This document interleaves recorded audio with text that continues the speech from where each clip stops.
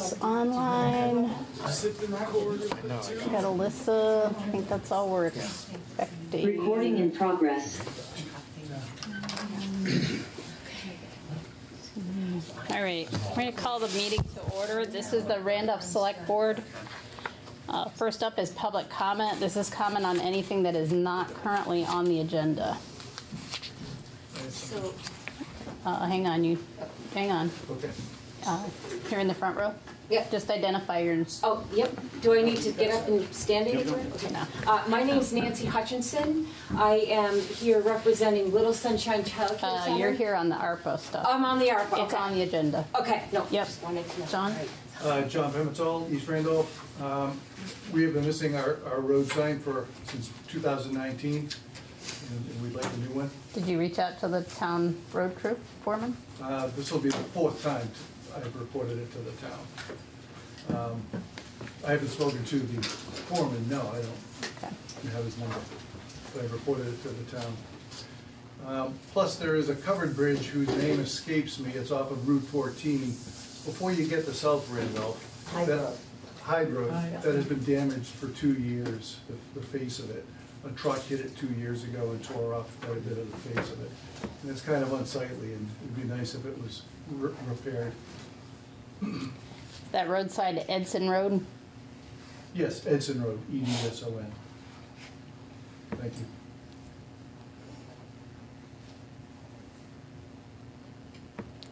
Anyone else? Anyone online? Not seeing anyone come off. All right, I move to, for approval of the agenda. I will move approval of the agenda. All those in favor? Aye. Aye. Opposed? Uh, Consent calendar. That we approve the consent calendar. I will second. Second. Seven second delay there. All those in favor? Aye. Aye. Aye. Opposed? Next up is new business, and we'll start with the errors and omissions and homestead changes. Okay. Mimi is here. Hi, I'm Mimi from the Lister's office and assessor. Um, this is just to inform you about the homestead changes that have taken place since um, we launched the grand list. Yep. So we We really don't, um, I researched it, we don't need your signatures or approval for the homestead changes. Um, Just need to inform you that they happened. Informed. Informed. Great. Next up, we'll discuss the townwide reappraisal. Next steps, requests for commercial income and expense reports. Yep, Uh, my name's Ryan Silvestri, I'm the project supervisor for the reappraisal.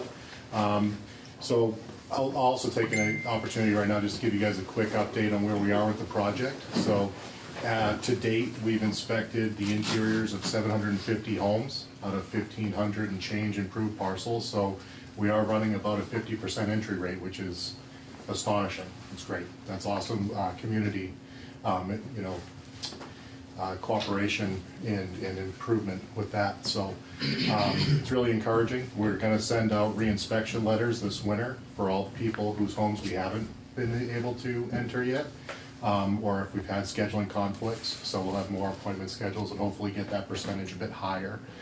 Um, We'll be done with the, the initial residential data collection by, I'd say, the end of January, and I'll be completed with the commercial data collection um, by the end of February.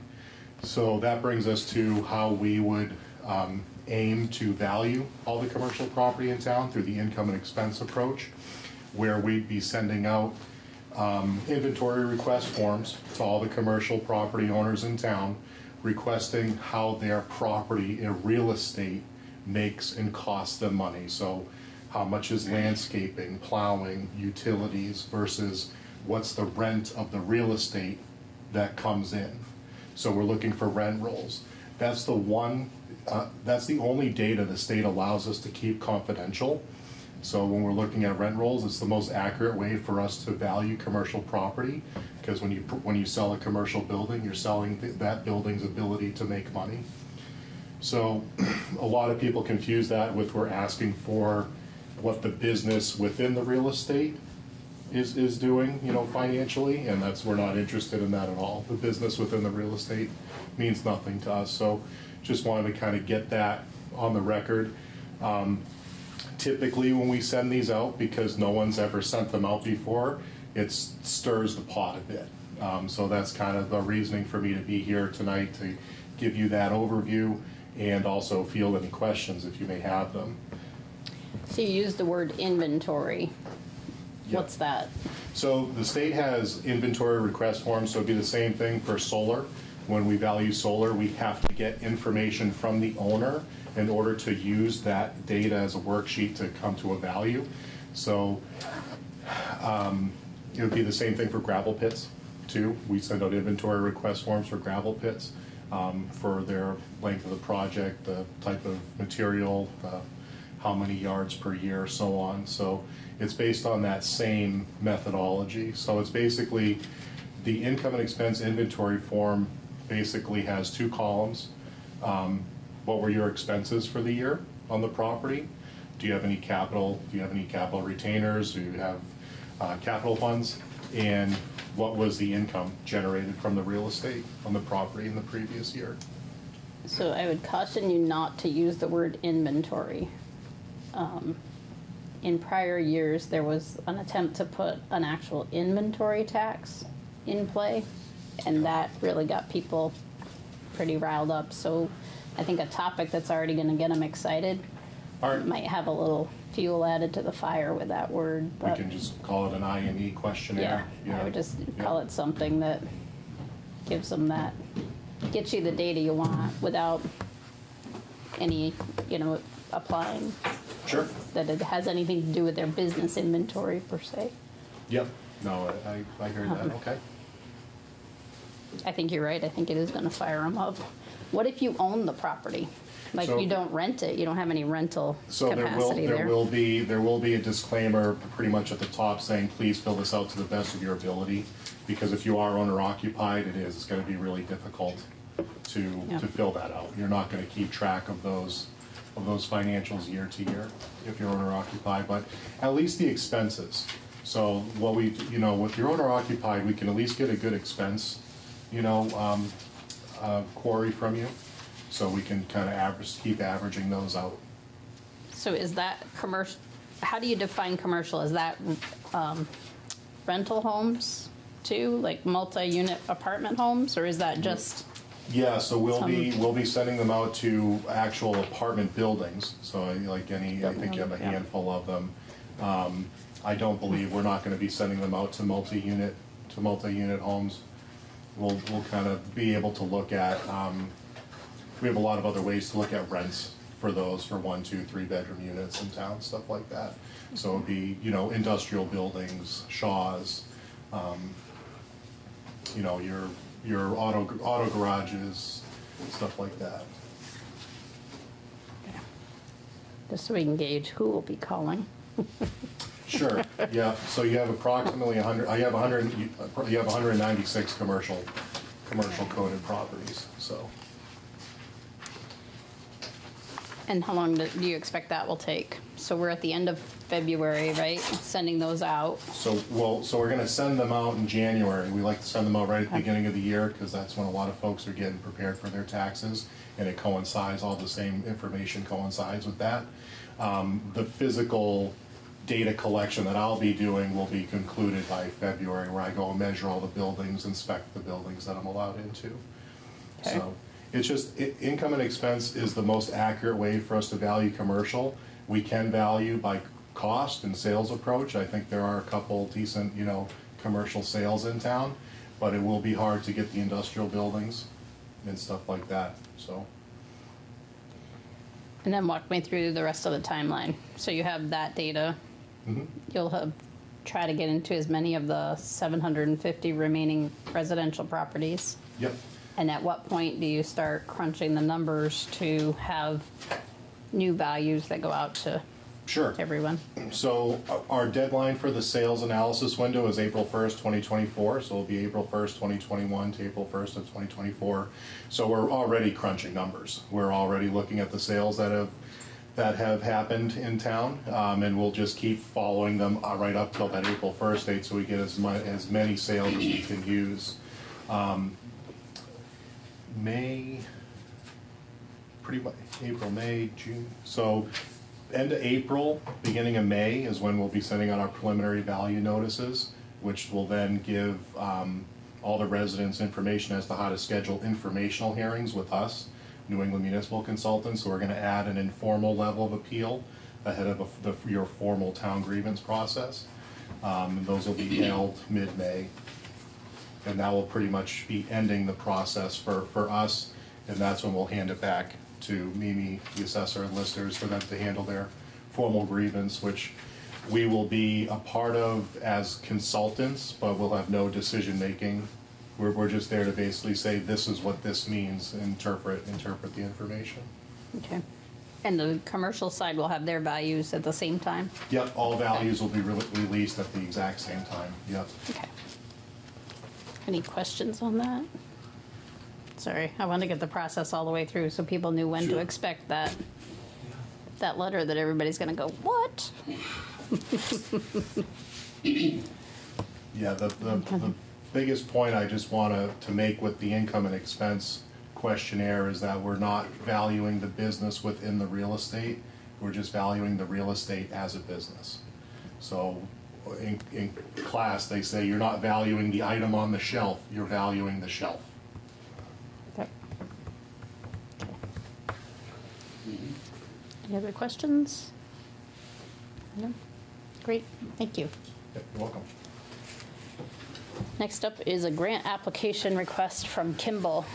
Any questions on that request? Any motions?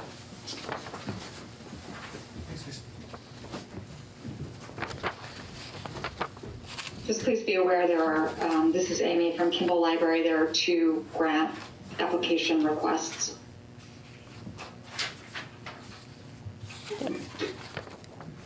Details on those are in our packet. Yep, Yep, both are in there. The first one for fluorescent um, tube light fixture replacement with LEDs um, seems straightforward enough and really worthwhile, so I would, I would move to approve that grant, to grant application. I will second.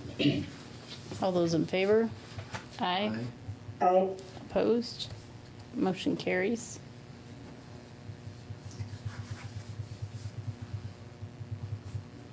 And you've got the Paul Bruhn grant, which is another, one of the tasks you've given Amy a couple of, that was a while ago, was to see what funds could be garnered out there from grants and others. Mhm. This is another source of funding for that project. I will move approval of the, the Bruhn grant as well. Second? All those in favor? Aye. Aye. Aye. Opposed? Motion carries. Next up is the you. VOREC grant you, for Amy. park Thank you, space at Branchwood. Yep, this is, uh, see if Mark jumped on or not. Um, and some other things going on tonight. One of the things we can apply for, for VOREC funding, we've usually used it for trail or trail-related stuff. The HUTS program, the Belmont one was last year's application. We've had good success with these grants. This would be for taking, I don't know if you go back to when we had a presentation on the Branchwood scoping study that Two Rivers put together on kind of the long smokestack parcel. There was some public park space that was shown on one of the site plans, kind of on the Pleasant Street end of it. Um, So this would be for scoping, engineering, construction and design, bid documents, basically to queue it up if we wanted to go forward with an actual implementation project. So the work funds would go toward those pieces, to take that from that initial, very conceptual site plan all the way out, theoretically at least, to something we could go out to bid for. So that's what the application would be for, would be for those two pieces. So tonight, they're just seeking approval to apply for the grant. Yeah. Yeah. Can, can, when can Hang we on just a second. discuss anything? Oh, Alyssa lit up, so. Any questions? She just must have moved or made a noise. No, it sounds great to me. Okay. You had a question about the VOREC grant? Uh, I just want to inject that uh, this has nothing to do with the ARPA funding, that proposal that was initiated by the ARPA committee. It's got nothing to do with, because there was that one proposal that said they wanted to create a park there. That's got nothing to do with that. No. Okay. Different group. Similar idea, different process, different funding source to the I will, uh, make a motion that we, um, uh, approve the grant application process for the VOREC grant for park space at Branchwood. Second? Those in favor? Aye. Aye. Opposed? Motion carries. Discuss and review the ARPA list between the committee and the towns lists. Yeah, so as is referenced in the packets, kind of the next steps for you all. 2024 is the year with which we've got to obligate funds. So figure out where we want to spend them, or at least where we want to send them in the direction of. 2026 is the deadline to actually have them spent. And there are a couple of different ways to view that based on guidance from everyone from VLCT to Two Rivers. So this is just to try and um, come back to this conversation. So in the packets, you've got the list that the committee looked at, just with their priority rankings. We can go back through and pull any of the associated costs with that, and or see if we need to develop any. Um, and then there's all along, from the very beginning, your very first conversation with me, at least about ARPA, going back to, I think it was May of 2021.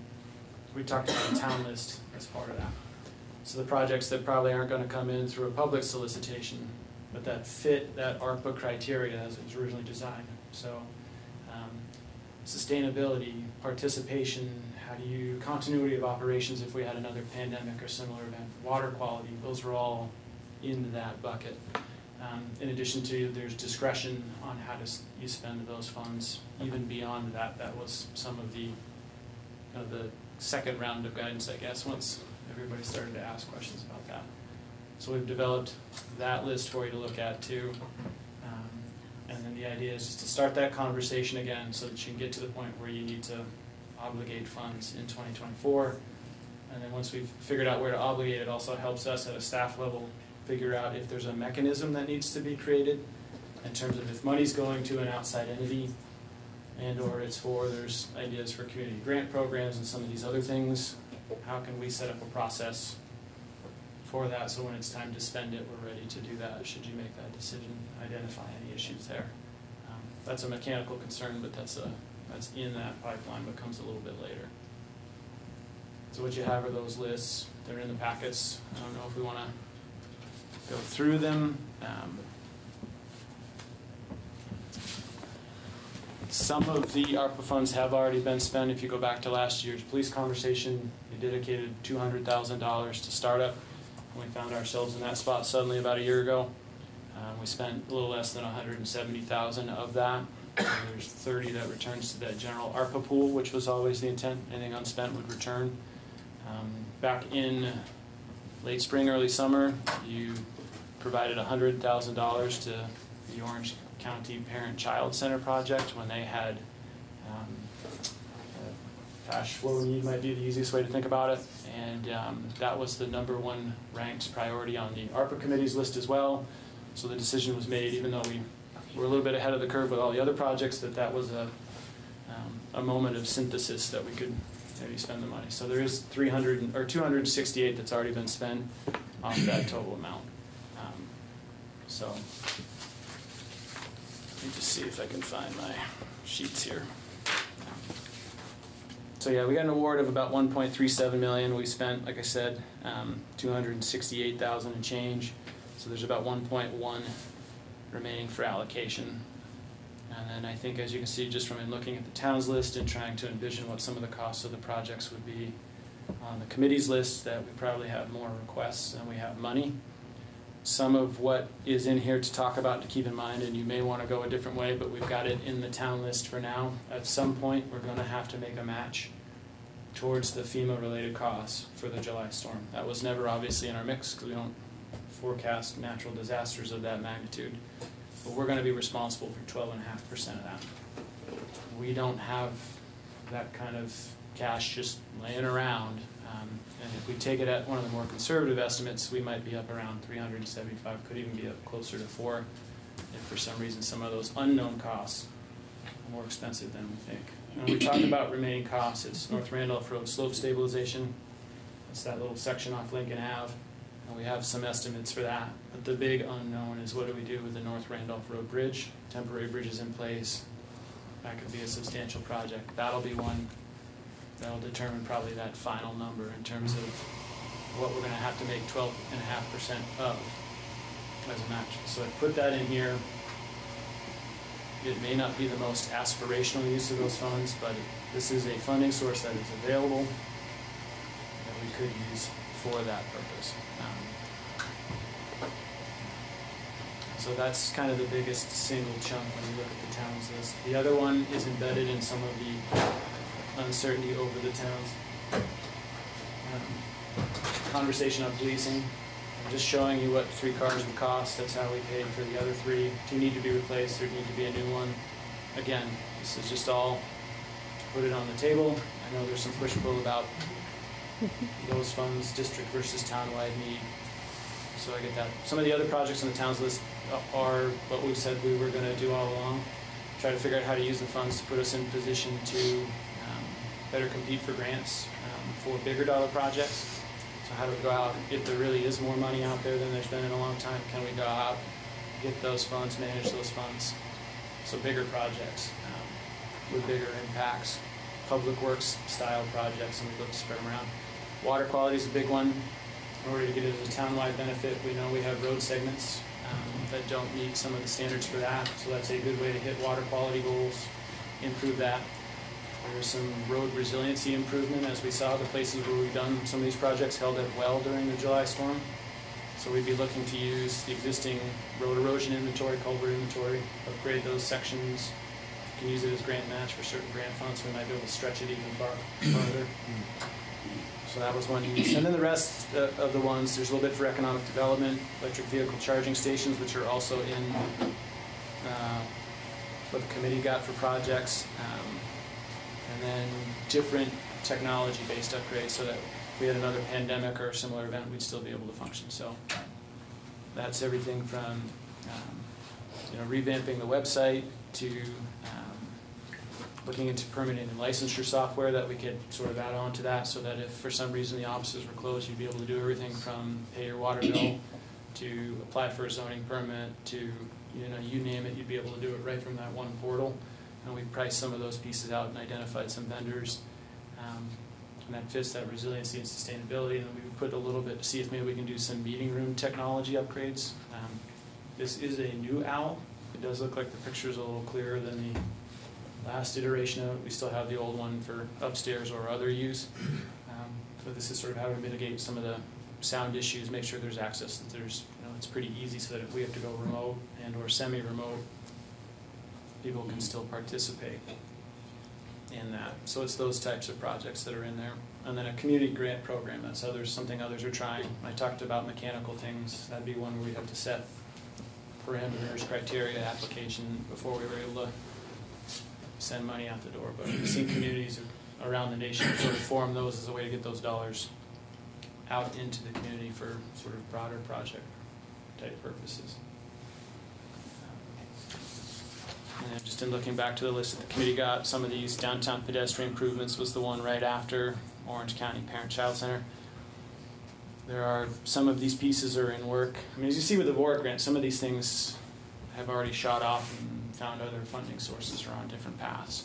um, Or have, you know, different avenues available to them. Stroll to Randolph Senior Center on a sidewalk was one of them. Well, that's in a scoping study that you just approved a grant for through a V-Trans program.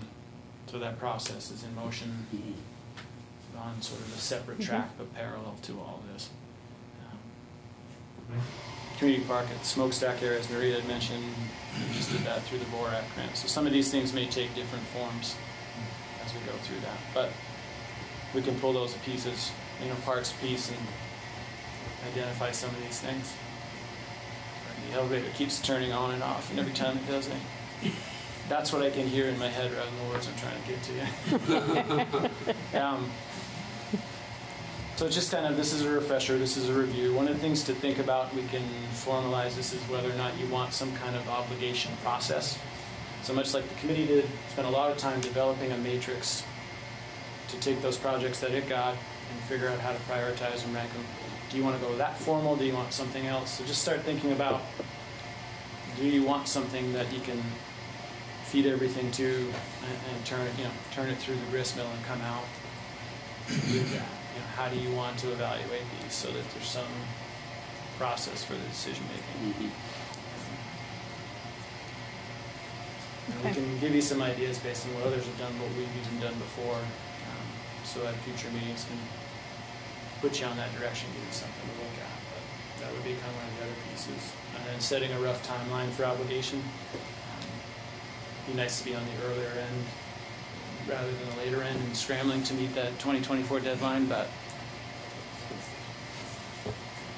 responding to slightly chaotic moments is becoming a specialty of ours, so.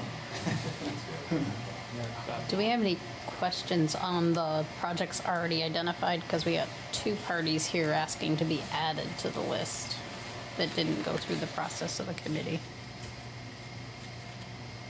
I don't think I have any other questions.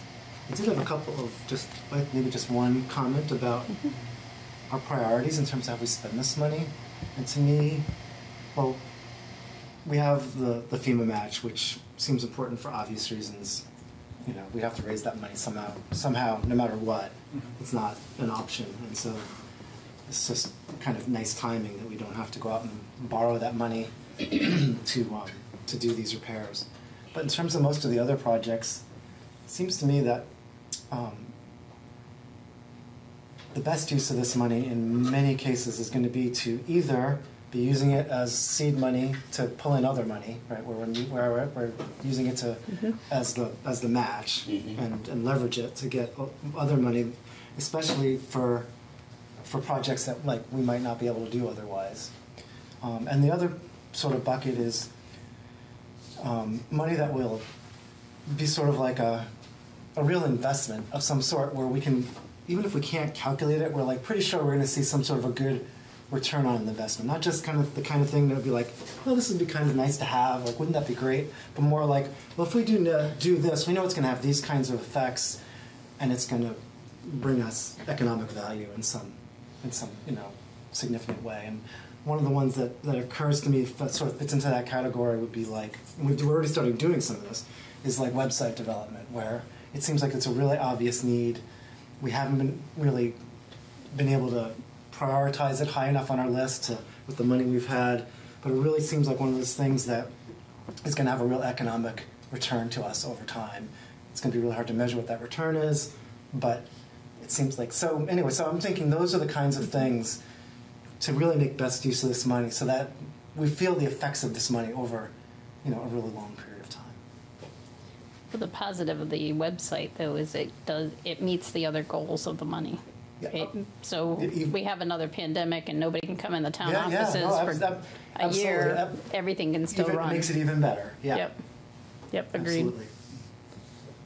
I have a Yeah, comment, something. and it, I think it adds, uh, depending how you do it, it, you see the benefit not only in that area of resiliency, but you see it in day-to-day operations. Right, so we're struggling right now with staff hours and so anything we can do like that, that improves that, I think is, Mhm. you're spot on, yeah. yeah. Yeah, if it means that we don't have to hire a certain amount of hours in-house, then we're saving money every year because we're not spending as much money on staff time for certain things. Yep, That's a real investment. It pays, pays us back money. agreed. We hope Yeah. to further harmonize some of the different things too. So I mentioned the licensing and permitting software, and we can possibly use that for dog licenses, for example. And there's a process to verify vaccinations and stuff before we mail tags, for example. But that's been a common use of this and other platforms, and we've talked to some of those municipalities that have used it for that. And then if we can integrate it with some of the recreation-based stuff, you truly could, from your pandemic bunker, I don't know what program you're gonna register for, probably something that's provided online, of course, but, but, you know, but you could do it all there, one payment, one payment module, make it a little bit easier to use that payment module for everything and everything. And basically join the modern era where most of, almost, I mean, think, how many people in the room use this for day-to-day commerce, basically? I mean, pay bills, you set them up.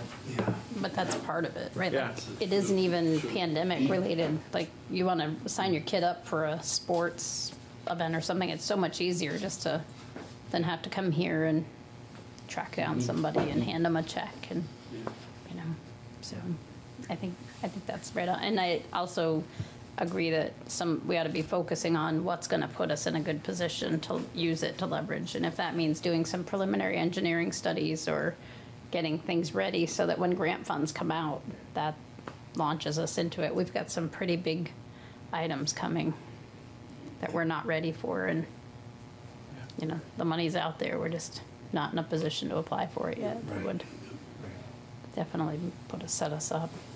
All right, we have two folks that wanted to add to it, so this is your opportunity to talk about your, So I don't hear very well, so do you have a microphone that you can speak into?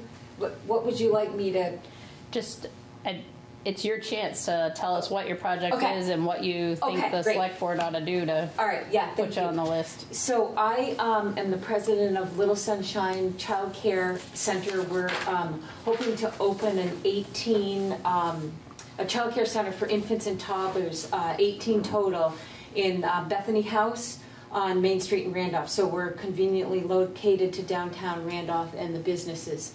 And I know that we missed the deadline for um, applying, and I know that you funded another child care center, but I also know that there's a huge demand for child care, and so I'm just here to uh, get on the public record that we are going to be opening a child care center hopefully by August 1st, and um, we have uh, two large grants. We've uh, been awarded one already. Um, and we're waiting. We should hear within the next few days of our second one.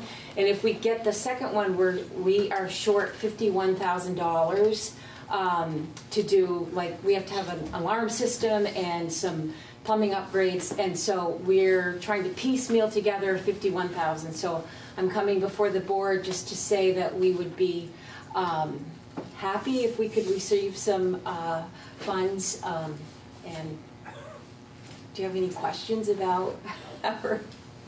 I think child care is pretty straightforward. No questions? Good. So- I'm sorry if I missed it. I, your name and then what was the Oh, yeah. dollar amount? I didn't. Oh, I didn't catch yep, my name's uh, Nancy Hutchinson. Um, and we are um, short fifty-one thousand dollars. Um, the two grants that we applied for, the uh, construction work isn't covered, so we have to find another funding source for the construction part. So our grants cover, you know, some um, salaries and rent and all the equipment that we need and um, supplies and stuff, but the, which really doesn't make sense, but anyhow. Thank you. Okay, and the second one is yours?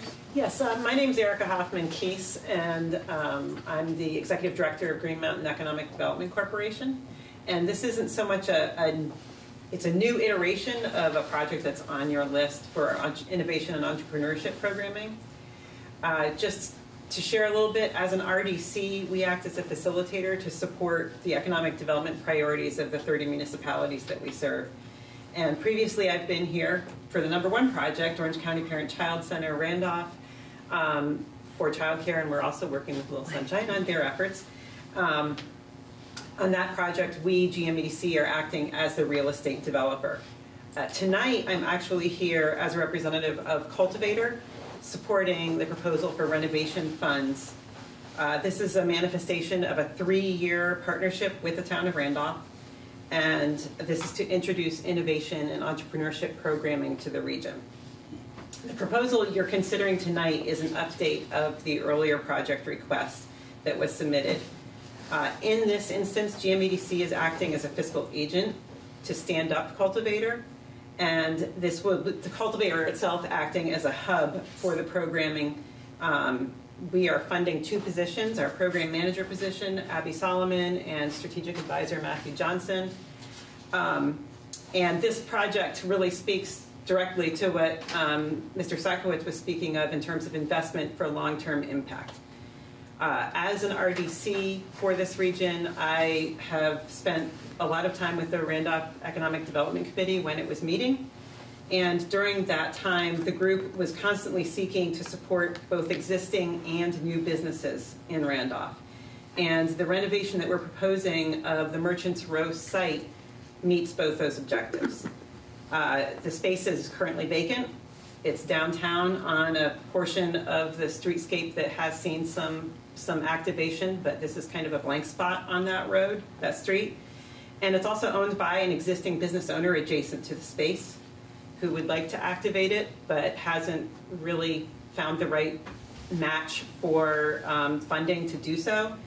So by utilizing ARPA funds to activate the space for the cultivator's home base as we initiate the programming, the intention is this is phase one. Phase two would see a, a much broader, larger facility that would be its home base. Um, perhaps maybe next to the park over at Branchwood, that would be lovely.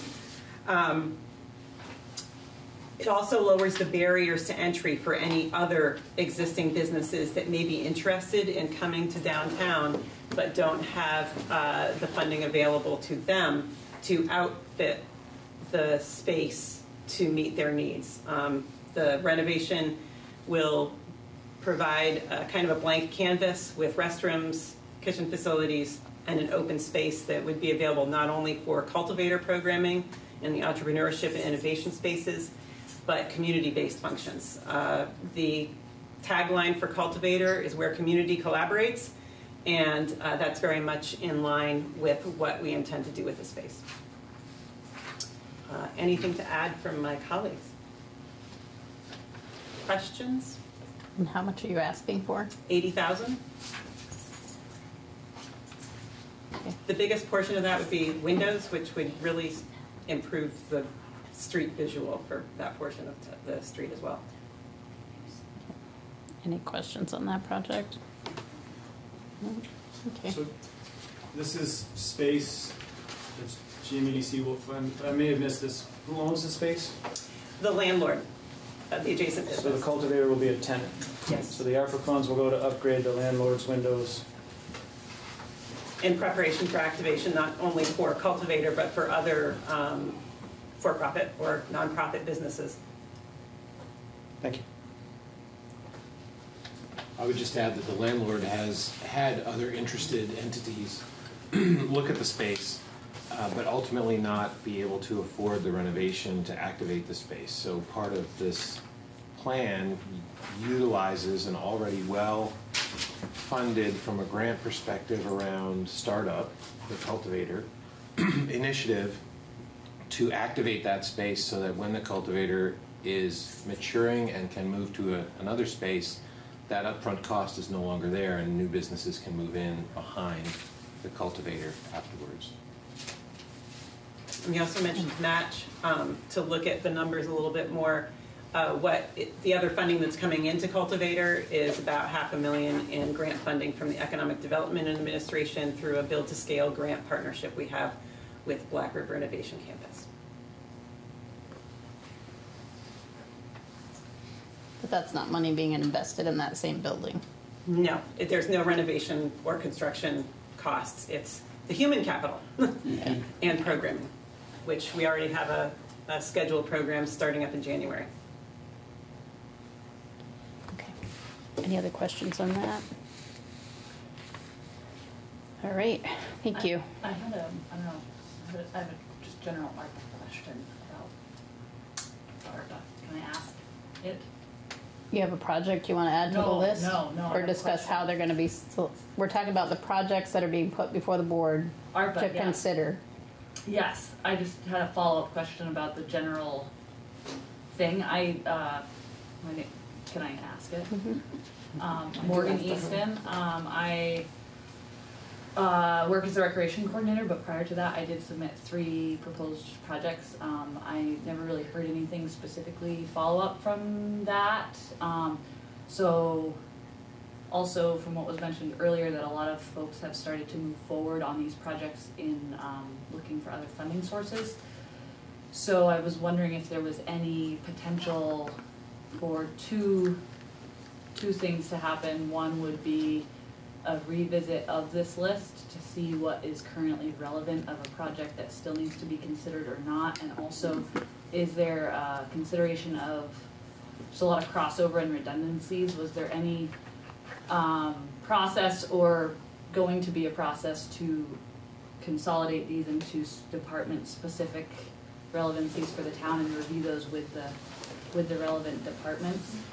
No, I think what you heard, so tonight's just about introducing the list to the board Yeah. and get, having the board go and think about what they think the process ought to be going forward. So there is no process yet, there is no, but you're, there will be an update. I can't imagine we're just gonna award the money and somebody's already gone and got it. No, that's There'll be some level of communication with the folks that applied that we decide, you know, I don't know what the process will be.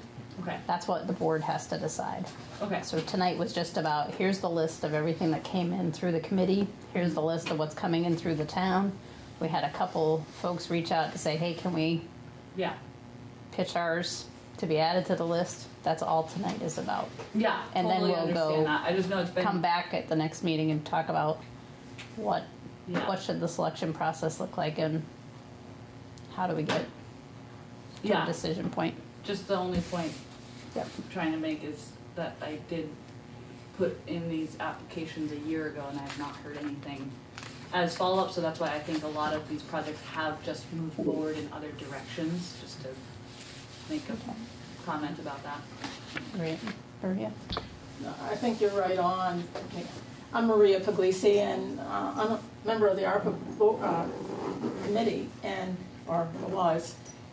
And I think Larry just said it very well in that we have to uh, keep in mind what, what the goal of the ARPA money was. And uh, Trevor was mentioning some things that we need money for, but I'm not sure they're appropriate for ARPA use. And so uh, I think we, and I think it'd be really wise to uh, at least give some notice to the people that applied that they, their projects are being looked at or something. Because we, as a committee, we, we gave that information to you guys to kind of take it, take it. And I'd be happy to help if you guys uh, are interested in getting any of my input from what went on in the committee meetings or what we were really looking at with the numbers and, and how we felt about each of the projects. Because there was, there were different ideas that were in there that you uh, probably are not aware of. Trevor maybe of some of them, but he, at the, at the very end, he wasn't tho- at those meetings, so he probably doesn't know. But A lot has changed in the year since these were open for application, so just yes, okay. Okay. And there are a lot of different priorities being juggled throughout that year as well. So we've had to prioritize and triage based on what was most relevant at the time, with the idea being that some things would be picked up and run through a process later on, and updates would be needed. So nothing was ever just left. But we have to make choices based on footprint to get things done and get them done in the order they need to be done. And that mm-hmm. was the decision-making matrix that was used. Yep. I have it. And we'll, part of the process will be kind of what, how do we get that debrief of what you guys went through, what you talked about, what the priorities were, kind of, how did you get to the decisions you made? I'd be happy to help with that if you, you want me to be. Okay. There were just, you know, four of us, I think, at the end that were, you know, uh, busy doing stuff, so. Thank you for your continued consideration of these projects. Yep. Um, any other questions on this list? No? None? Okay. East Valley Community Group Building Funding Proposal continued. Trevor, are you able to pull up that presentation that I sent in? Uh, I think I have it. I've got paper copies of it, folks, too. John, would you? Sure. Take one, take one down, pass it around, however the song goes. This is different. Yeah, I think it's, Thanks for seeing me tonight. First off, I'd like to uh, commend the town for making the decision to move forward and try to find a grant writer to work for the town. I think it's a it's a wise decision and a big step forward for the town. Additionally, I left a report at your places, the uh, Tri-Community Spaces and Places Report, which was put together several years ago, uh, included quite a, quite a few town uh, mem- members, including Mel Adams and Heidi Arias and Judy Iflin, Tony Keller, a steering committee, as well as a, basically a who's who of local organizations. The reason I shared this with you is beyond the fact that I think it's great reading to get a pulse of, of uh, what people in the community felt was important within their towns. Um, It also prominently features the East Valley Community Group as one of the uh, civic infrastructure uh, sol- solutions to what the people in the town desired from their community. So I'll, I'll leave that for you to re- review and digest at your leisure, but um, as you go through that, I think you'll find lots of good information, um, especially about the East Valley Community Group. So thanks again for seeing us. Uh, Quick agenda, we're going to talk about the benefits of the hall, the restored hall, uh, proposed article for the hall refurbishment plan, and uh, a little history as well. So the East Valley Community, Community Group has been working with the town of Randolph, developing an approach for restoration of the community hall since 2020. We worked with the town to develop a scope of work, which was used by the town to issue an RFP for architectural services. The outputs from that architectural services contract led to several levels of pricing for the hall restoration. Um, These ran from basic needs to options that included expansion of the services that a restored hall could provide. Um, Continued restoration and enhancement of the hall would be a focus of a restarted capital campaign by the East Valley Community, Community Group, which to date has raised $48,000 towards the refurbishment of the hall. Today, we'll be presenting a request for an article to be placed to the voters in the upcoming town 2024 ballot, which provides funding for the restoration of the hall.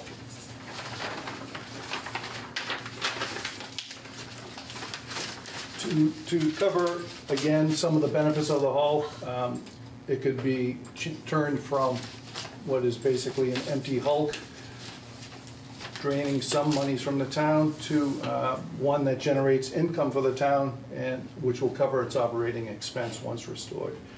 It could act as a fundraising site for the hall restor- restoration, town committees and local groups, training and meeting site for the volunteer fire department. A restored hall is indicative of a vibrant and vital community. A rise, uh, uh, in local property taxes when the hall is restored would no doubt occur. Cultural and educational activities for all ages could be held there. Disaster relief staging ground, storage, meal preparation, and shelter for North, South, and East Randolph, where presently there are no uh, facilities for that. Community meeting room for local clubs, and a location for Randolph Select Board meetings and advisory committee me- me- meetings when you want to have a meeting outside of this hall. The proposed article for the hall restoration, restoration plan is as follows, I'll read it to you. Shall the town voters authorize the sum of up to eight hundred ninety thousand dollars to be borrowed by the town for the restoration of the foundation and structural stabilization of the East Valley Community Hall? Annual payments for the project will be included in subsequent annual budgets until the payment schedule has been fulfilled. This request is inclusive of a ten percent contingency fund, contractor overhead and profits, and general conditions costs, which include project management. So this, this would cover the work to get the hall to a point where the structure is restored and further work can then be done without additional demolition or reversing of any previous uh, restoration activity. If this is approved, and we suggest it's placed in front of the voters to make a decision, um, the East Valley Community Group would restart its capital campaign, which has been on hold, to pursue funding to go alongside of the funding provided by the town and will continue that activity into the future to fund future restoration and improvements in the hall. A commitment by the hall, excuse me, by the town would greatly enhance the ability of our group to raise money in its capital campaign, including other funding activities such as a GoFundMe and others. So the question we pose to the select board this evening is, will the select board place an article to the voters in the upcoming 2024 ballot for this restoration? I'm not sure we can answer that tonight. So I don't know that we can tell you that. I think we gotta look at, we talked about this before, about the town's bonding capacity. Mm-hmm. So we have statutory requirements of debt that we can get into. And I thought, or when we looked at that, we were a couple years out before we would ever get to the point where we can bond more. But Is there any other possibility um, of some other approach that could be taken that working with our fundraising capacity, which we've proven we can do um, collaboratively, that would allow us to continue to move forward? Here's, here's where we are today. We've, we as a group have been working on this for four years, over four years.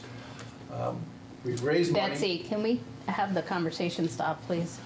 We've, we've, we've raised money, um, but we're reaching a point where without some kind of a commitment from the hall, it's impossible for us to go out and ask people to contribute money to the restoration of a hall. That may never occur. We have to, we have to get beyond that hurdle if we're going to effectively raise money, which we think we can do. And I think we've proven we can do because we haven't really gone public with our campaign yet, yet- we've raised forty-eight thousand dollars. So we're, we're, we're asking for a way forward with the town at this point. Because if, if, So- if, if, if we can't map out a way forward, then I'm not sure there's space left for, for us to be involved with this project. So, um, Trevor, correct me if I'm wrong. Debt, um, debt is any type of debt that the town gets into. So it can be bonding, it can be our bond anticipation note, it's our debt on equipment and on vehicles. It's that whole total value of indebtedness, no matter how you get into it, that counts as your debt to, it's not debt to income ratio, but whatever it's called, but Debt it's to that type of expenditure, thing. yeah. It's a, we're limited on what that number can be.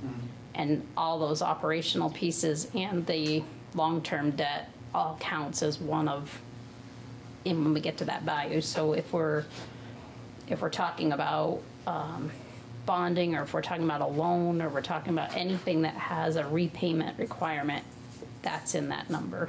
Yeah, when you I think forget of what debt, they call it, yeah, but- debt to expenditure ratio is the number we're looking at. And it's basically fifteen percent is sort of that high end of a best practices number. So five to fifteen percent your general range. Depends on your local appetite, borrowing capacity, all of those things. Basically, you go north of that number, that means you're putting more of your operating funds into paying back debt service. And you're south of that number, you've got more from operating and you preserve capacity to go and get future debts for the big projects that you need. It frees up that capacity or make sure it's available when you get it. And then it ties into some of the statutory provisions about how much can you borrow related to your grant. That ties back to grand list. Grand list, yeah. So there's a couple of different layers in there when we consider debt of any kind. We gotta be thinking about all of those things to make sure that we're healthy in the moment and down the road. And we've talked through budgets for years about trying to get that debt to expenditure ratio down, to get some of the debt off the books, so that what we've reserved is capacity for the things that we really need, we really want, that, you know, can we go to pay-as-you-go approaches more often for vehicles, big equipment, those types of things.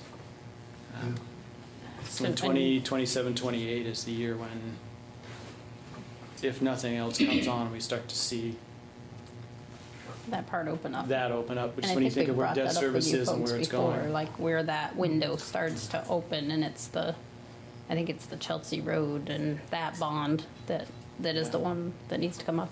But that debt piece even takes in, like if you lease your copier, that lease payment counts as that, into that ratio. Like it gets pretty detailed what they look at for that and Let, let's I'm not not lease sure. any copiers.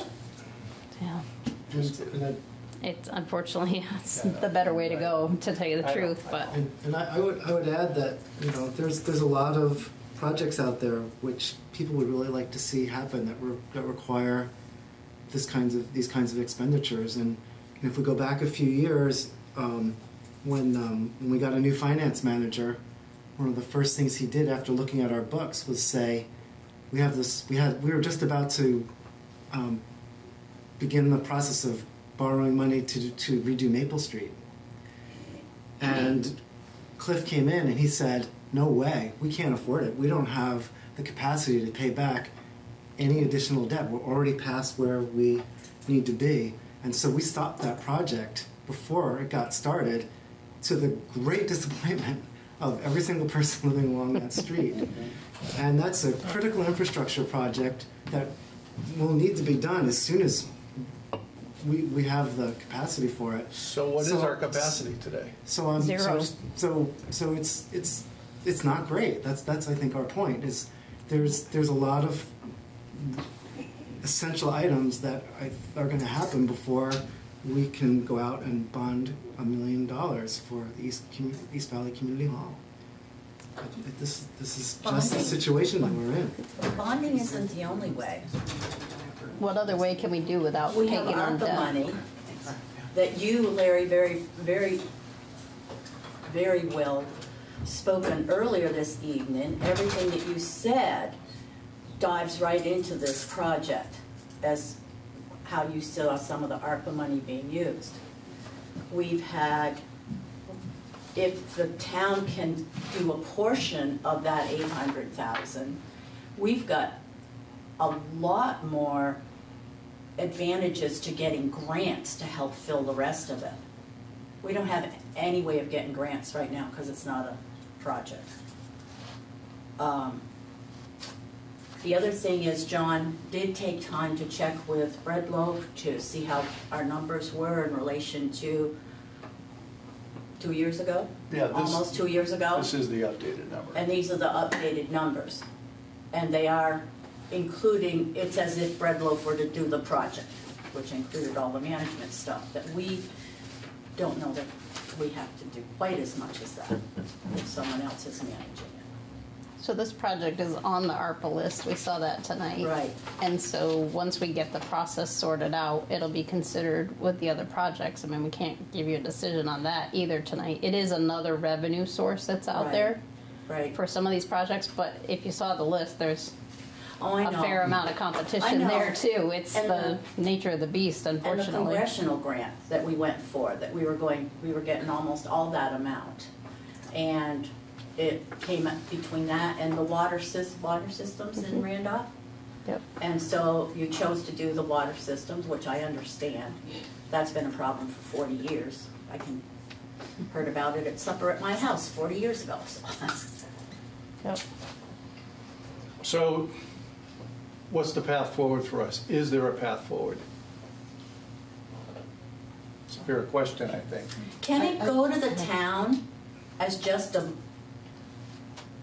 a special article? Of what? That it wouldn't be bonded, that it's raised by tax money? Can it go that way to the town? So one-year request for a nine hundred thousand dollar increase? Or Well, part of that? Spread it out over, What, how you're into indebtedness? Now you got debt. So you gotta, you gotta pick one or the other.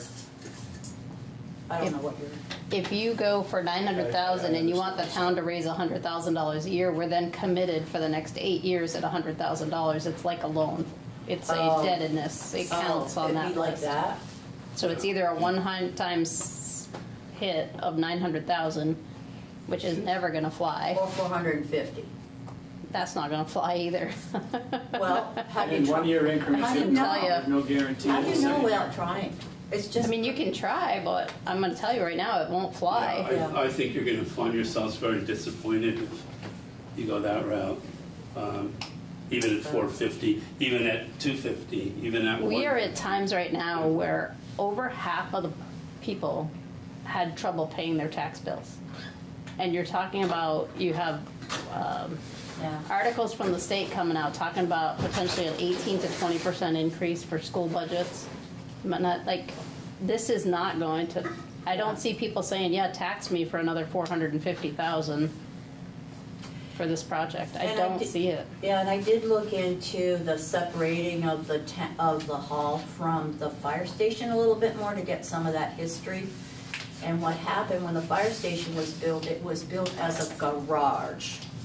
So all of the codes that were needed for a garage was what they had to do. Everything else that they needed was in the hall. So if they were to divorce from the hall, the station would have to put an addition on, which also involves a whole lot of new codes. Uh, power, water, uh, septic's there, uh, showers, bathrooms. But we don't have to meet all those codes if we separate that. It's an Uh, existing yeah, you do. structure. I couldn't hear you, Trini, I'm sorry, what did you say? It's not, but it's not, it depends how you do it. If you did it as a standalone primary station, your codes have to meet that. If you do it at a, as a ancillary, it doesn't have to meet that. Let, let, let, let me just finish this. So, Yeah, okay. we're looking for clarity. That's all we're looking for tonight. If, if you're saying there's no path forward for this group to continue with trying to restore this town building, then I'd like to hear that said, because we don't want to waste our time anymore. Yeah, I, I hear you. Doc. Is- I, Is restoration the only option the group is willing to consider versus still thinking about options of how to create and make a community space um, at the location? It, it's just restoration and preservation of historical buildings is a more expensive way um, to do building. We So, Now, we'll consider with Yeah. our community efforts and everything, If- but we can't use the building. Right. If this path is not open to us to restore the building, then the community has to be open to other ideas. But what we need to know is, is this path open or closed to us? It's a, it's a simple question. And we, we, individually, we've spent hundreds of hours on this. Mm-hmm. And I don't want to spend another hour on it if I'm So not going forward. is, is the path restoration of the existing building, or is the path creation of a community center? Because they're two different things, Not at, in my mind. right now, what that second thing you're talking about Right. would go, would be on the table if this other path is closed. Mhm, mhm. And and when you Because talk, if you put this on the ballot, whether you put it on the ballot four fifty or nine hundred or eight ninety or whatever figure it is, um, you're going to get pushback from people that are going to say, could we create a community center at that location that isn't in the restored building, but is in, so the restored building, uh, this is hypothetical, I'm just putting this. I know, There's no The land. restored building goes away gets destroyed. it gets destroyed. And we construct a new building on this site. I'm not, you know, I- I'm not an engineer, I'm not a contractor, I- I- but I think you could probably achieve more of what you're looking for, for less than eight hundred ninety thousand dollars that would see the building go away and something go in its place. I'm just putting that out there. And I think a reasonable townsperson, a reasonable taxpayer is gonna ask that question of you if we were to put this forward. What That's does a it board mean? decision. Hmm? That's a board decision, right? The ultimate decision whether to destroy it and put a new building up, yes, the town would have Yeah. to make the decision to allow the building to be destroyed and a new building to go up. The- And we have to make that in the context of every other challenge that we're facing right now in terms of infrastructure needs, like the building of the new reservoir that we're involved. I mean, I mean, there's this whole litany of things that. we have. Understood. That's, that's, that's, Two that's understood. garages. Those, those things never, never, never go away. It's, it's No. understood. So, so what I'm hearing is the path is closed to the restoration from the select board's perspective for this building, and that we should, if we intend to come back to the select board, come with other alternatives. that No, I may think make what more you're sense. hearing is if it means indebtedness of any type for the town right now, we can't do it. We're maxed out in our debt. I think it's in, I think Trevor's right, it's till like two thousand twenty-eight. Like, So- so we the have a alternative- long term before we can take on any major debt, and I don't know that any sizable, Mm-hmm. you know, tax increase or whatever isn't gonna fly either. There's a lot of stuff coming in this next full Have you bit. thought at all about, um, for lack of a better word, privatizing the ownership of the building? No, we No. haven't considered it. In other words, suppose the town chose to sell the building to an interested investor, and then, Put it on the market. Yeah, put it on the If that's what you want to market, do, put it on the market. well, I'm just putting it out there as a hypothetical, I'm not saying that's what we want to do. No, we, I'm we just haven't suggesting really, that. we haven't really considered that. So, you, you have, Yeah, I, any I- other questions? Um, a a couple things. I'm not sure that, that you can demolish the building plus erect an- mm-hmm. another entire new building on top of the old site and do it for a whole lot less money than it would cost you to renovate what you've got. Mm-hmm. Um, so I'm, I'm concerned about that. The other thing is, you know, if, if, if we have to wait, I'm, I'm hearing we have to wait another five years perhaps to be in the running for, um, getting some support from the town to, to revi, um, to refurbish the building. Um, what's gonna happen to the building in the meantime? I mean, it's sitting there deteriorating as we, as we speak. Sounds like there's a lot of conclusions being jumped to beyond, I think this conversation's coming a little further than the original intent. I think they're fair No, it's not. conclusions. This, this, this is not a one-night conversation. This is a conversation that's been going on for five years. Yes, I've heard some of it in the past. I just So, uh, okay, okay, quote, Morgan. Um, the eight ninety number that's out there though is only for foundation and stabilization. Right. So your total is much ADA. higher than that, so you're. No, it's ADA you're- too. Yeah, but ADA you're compliance. still, then you have more on top of that. So I, I think it is fair to say that you could look at other options on that site and be under that number. I mean, that's a, that's a pretty high number. Um, and I get it, like when you're doing historic stuff and when you're dealing with like a stone foundation and when you're dealing with some of the repairs that have been done there and the windows and all those pieces, it racks up quick. I I'd just just, I like to- do think it's a, it's an interesting concept to say, is that it? But I think we're still in the same boat, like, we can't go into debt for this, like, it's a tough spot. And I, I think, uh, Tom, you asked before, uh, is it a, you know, is it a community center we seek or is it historic preservation? And you also, Alyssa, brought that up a bit. And I think, I I think I can speak for the East Valley Community Group and say, we are a community building organization. That is, we aim to, to increase resilience and the economic viability of the East Valley in what we're doing. And so our primary goal is community rather than historic preservation. So we're not trying to, uh, to retain a, a, a- an old building for the sake of its looks and character, despite the fact that it has very positive it- looks and It character. definitely has those, no Um, question about it. And the, the, uh, I think you'll remember back in 2018, there was a, uh, there was a, a whole group of citizens that came together to, uh, and they called themselves the Tri-Town Places and Spaces Group, right? That's And- Tony, Tony, that was, uh, yeah. And, um, and there, so that was, of course, that had a regional focus.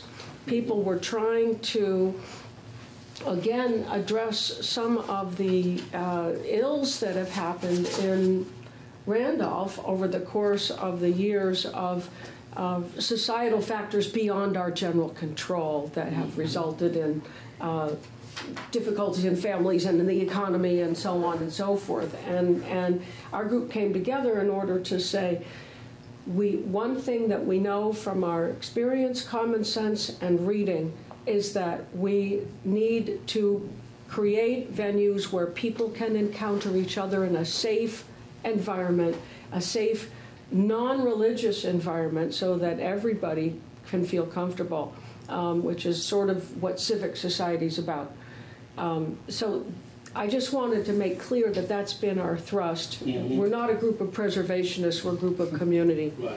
building people. So in that context, then, uh, Josie, the, the best question to be asking, you. the question to be asking yourselves is, if that's the priority, is this the best way to expend whatever figure it turns out to be, eight hundred and ninety thousand dollars? Um, Or is there some way you can achieve that same goal at a much lower cost while uh, unfortunately sacrificing what I will agree with you is a beautiful old historic structure, but it's a historic structure. It needs a million dollars plus worth of work. And I just, I don't know, I'm just asking, uh, what's a realistic way to achieve what you want to achieve uh, that's also uh, economically grounded for the people of this community? And we have, we have, uh, you know, in, in the small amount that I know about demolition and construction, which is not zero, but Yeah. is not significant, is that no, for this, and, and as we've looked at this issue, it's, this is the cheapest option that we have been able to come up with. Um, Demolition and reconstruction of another building, you know, maybe a metal-sided Butler building, not needed in the winter, you know, might come in cheaper. But beyond that kind of thing, we're not, we're not looking at anything that a community can actually use. And, but we are interested, again, in the economic and social viability of the East Valley. Mm-hmm. What, you know, and to have a, and, and, and a conversation with a truly interested select board, that would be a fantastic thing. We would love to be able to have your concern and commitment enough to sustain an ongoing conversation where we can brainstorm together. Um, so I put it, I put that to you for your consideration. I, I think John asked a question which hasn't been completely answered yet, and I think I'd like to express my perspective on it. First, but before that, I'd like to say that this vision of a community center in East Randolph is a beautiful thing, and it's a worthwhile thing, and I deeply wish there was an easy way to get there. I really, really do. But it is, and I and, and when I remember we had a meeting at the East Randolph Community Center.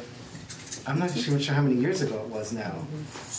It was just two years ago. Yeah. I feel like it was Yeah. longer. No, it was just, it it might have been less than two. It was, it was July of uh, '22. Were we just coming out of the pandemic? Yeah. Yep. Okay.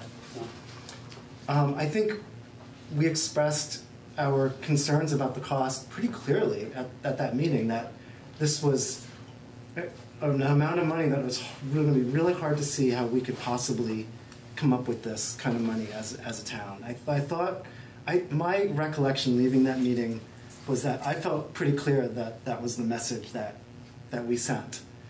And I think that it's, that's still valid today, that it's going to be, it's, it's really hard to see how we're going to raise millions of dollars for this, for this building in spite of the fact that it is a beautiful vision and it, and would be an incredibly awesome thing to have, given our fiscal constraints and our priorities that we know we're going to have going into the future, I, I just don't know when we're ever going to have the money to be able to do something like this. And the fiscal constraints that you're talking about are gonna be there whether we raise the building and build something new or renovate this one.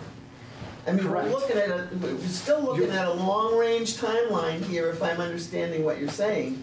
You, you can't take on anything else right now, Mhm. and you can't take on anything else until like twenty twenty-eight. We, it's worse than that. We can't take on anything big for a few more years. And then once we can, there are other projects that we're, that I'm telling you, we're going to be funding before we fund this one. Yeah. It would I have, hear you. yeah, it would have to be something that's important to this, to the board. It's not even just the board, Betsy. Like, we have roads right now with water and septic underneath them that have to be replaced. We were in the process of going forward with some of these. We have some large projects. We got two garages in this town right now that both need to be replaced. You know, we've got a lot of infrastructure that we're gonna be trying to figure out how we handle that, knowing that we've got until 2028 before we can ever bond. Like, we've got some serious challenges here. And you'll have those challenges at 28, so. We will. It this will still Yes. be low on the list, no It matter will. what. Yep. So, So, so, and that's not something we're happy about, it's just the No. reality of. The So thanks, thanks, thanks, thanks for meeting with, with, with, some- with us tonight. I, I think we know the answer, the answer is no, and for good reason. Yeah. Um, it's, it's just, sometimes dancing around an answer does, doesn't give you the clarity that is needed, which is probably what occurred two years ago at the meeting Yes, in, in, in the hall. Mhm. Some, sometimes a, a, a hard no is, is what's needed. And I'm hearing a hard no tonight, Yeah. so that, that is. Unless there's a wonderful pot of money out there that would none of us have found yet. Well, we haven't. But I'll, it's- I'll watch for the leprechaun. is it well insured, by the way? Oh, my God. Yes, it is. If it falls in, you know? Yeah. Thank you. Yep. Thank you. Okay. All right, intermunicipal energy coordinator proposal continued. This is another return item from last time. Um, we got an extra handout from the one that was in the packet, so I'll send this around. This came in today as well. It's, looks like it's a description of the IREC project in the six or so towns that have had it in place for a few years now. So my understanding of this position is, for the most part, it's going to be working on either town projects or other projects that would allow for benefits from an energy perspective. So whether it's funding that's out there to um, change heat systems in town buildings or to do whatever. And I'm really concerned that we potentially put forty thousand dollars into a group fund, which with not a whole lot of ability to manage the time of that person. We're just um, committing it. And I think if we're looking at bringing somebody on that is going to help us with grants and whatnot, we should have our own person doing this, and that should be an additional duty on that job. I, I am, feel much better about us having the person and us managing the person and us controlling the outcomes than I do about what I've heard so far about where this position would be. And I don't know about anybody else, but I have never been able to report to a committee to get my direction. And thank God you love it, reporting to a board. But like, if, if, but that's a board in one town, like a, a group of people from multiple towns trying to tell you what your priorities are and everybody trying to get help for the same grant funding program and whatnot. That's chaos. I just, I feel like if it's, if we're gonna focus on this, then that money, that forty thousand is much better spent on a person right here. And if this is, you know, we're looking at a position right now that's gonna help with zoning and grant management and whatnot, I think that's where that job duty resides. Could definitely include that and make that work. Could I respond to that? As would I like. Um, Well, I'm, I'm Jerry Ward, and this is gonna sound a little bit like the East Randolph Community Hall thing. It's- There, we, um, I'll just remind the select board, who was, some of you were not even here then, is that a couple years ago, there was a proposal to do exactly what you just talked about. Is have our own position who was the energy coordinator. And it was, didn't go anywhere, um, partly because we didn't feel like it was needed, partly because it wasn't, it was maybe too big of a financial commitment, and partly because the town manager in COVID was overwhelmed. And That's not against you, that's just the reality that I recall, is that we didn't want another person that you would have to oversee. Um, Okay, I'm, it may have been Adolfo, sorry. Yeah. yeah. But, um, so, both are reasonable viewpoints. Um, It does take some money and oversight if it's a town employee. I still think that would be the ideal thing. But I didn't, I got the distinct impression that Randolph was not there, and we were advised to go with the shared project model, like Two Rivers-Ottauquechee then went ahead and did it. We didn't get in on the first round, now we have a chance to get in on the second round. And if you don't trust Two Rivers doing the oversight, then the town needs to do it themselves. So it's, you can't have it both ways, and. Yeah, um, I think in fairness, Jerry, a lot has changed. I And, agree. and, Okay, uh, okay, and and if you're not, like, I'm not I think the, I no, just. no, I, I agree. I just want to explain to you, like, we've gone through a lot of change here in staffing and we've shaken duties and we've looked at how better to use the limited positions that we have and, and where we need to beef up and where we don't need to beef up. And one of the things we've just done is look at, like, we have an economic development director, but he's also trying to manage the zoning applications.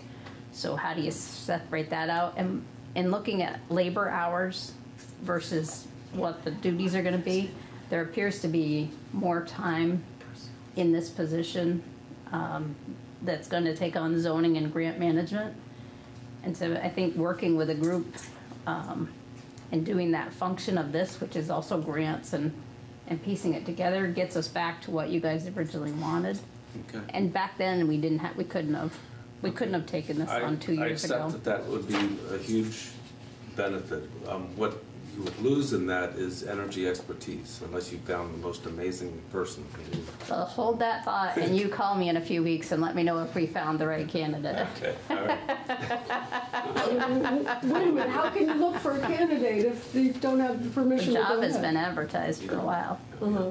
So, um, I, s- I think I see where this is going, and I just want to point out one thing that, you know, it's not um, casting aspersions, but there's already been up to 14 other towns that have been meeting for months. Most of the meetings, John and I were not even there, trying to get to the point where they could present an actionable proposal by the end of this calendar year so it could be funded in 20, budget year which means getting proposals actionable by January 1st. The towns can actually get them on the, on the warnings and get the, mm-hmm.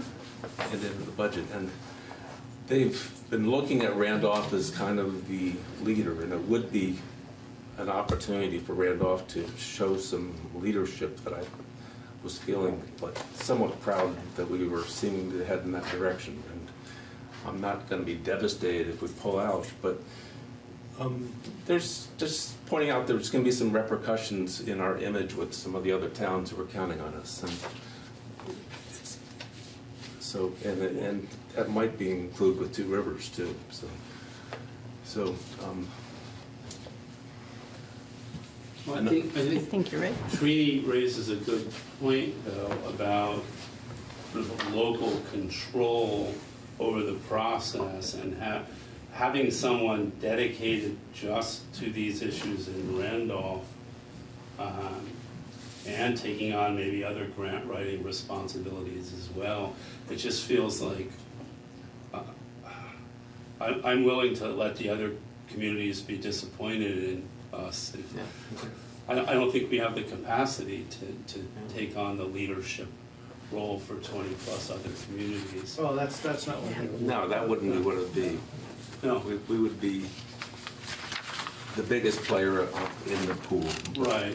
We would not have any more leadership really than the other towns. It would be Two Rivers that would be taking on the role. So that wasn't clear last month either. It was this sort of nebulous. Well, no, Role in your for packet is, is, is exactly what Two Rivers' role would be. Uh, Peter Gregory outlined it very clearly. He, he'd be willing to be the, the one who would fire and hire and do all the evaluations and, But this is in the stuff we got today, for today's meeting, right? It wasn't in last month's. it was in the packet. It was No, in the packet you got this right after for the select board Yeah. meeting. Right. Yeah. It was in response to the six questions that we left the last meeting Yep. Right. with, and we, and we replied. And that's incorporated in this. It's But- not in that document, No, no, it isn't. but Trevor No. has received it. Um, And it was in the packets. uh, I read it yeah, last night. Yeah. Yeah, it it was in the packet right before the document you're looking at, Tom. Mhm. Ask a question. Um, It, it seems to me uh, with, with, so I'm trying to get a sense of the board that uh, with budget constraints being what they are, um, and labor constraints, that a, uh, A, one of the, as I understand it, one of the reasons to have an energy coordinator is because we need to save money on our buildings uh, and our town use of energy, that, that there would be a net gain in, in that effort. It's not altruism, it's common sense. Um, B is we, uh, that sharing, if under the responsible supervisoryship, not of a, of a chaotic committee, luckily, if Two Rivers is as good as their word, and we know that organization, of course, everybody does, um, then would, why wouldn't you go for it exactly? Well, if we're gonna have a position and we're gonna go through energy efforts and grants, right? And we have other grants that we could apply for that we're not able to do now because we don't have the capacity. Those have the ability to have some level, some are capped at five thousand, ten thousand, whatever they are for managing them, but others, you can get a percentage or whatever. So if we have a potential for revenues to help offset that position, and the more grants they go out and get, the better that is, why wouldn't we have the position here where they can focus on Randolph's goals versus a limited number of hours to do the work for us? And other grants to help us not only ha work in the energy field, but in all these other fields that we need assistance with, where we can get f- revenue to help offset the position and have it benefit all the areas of the town that need the help. Is, is this in the present job description that I saw posted for a grant writer? Uh, And that's not a facetious question, I'm just, Yep. It is, okay. Yep, grant writer.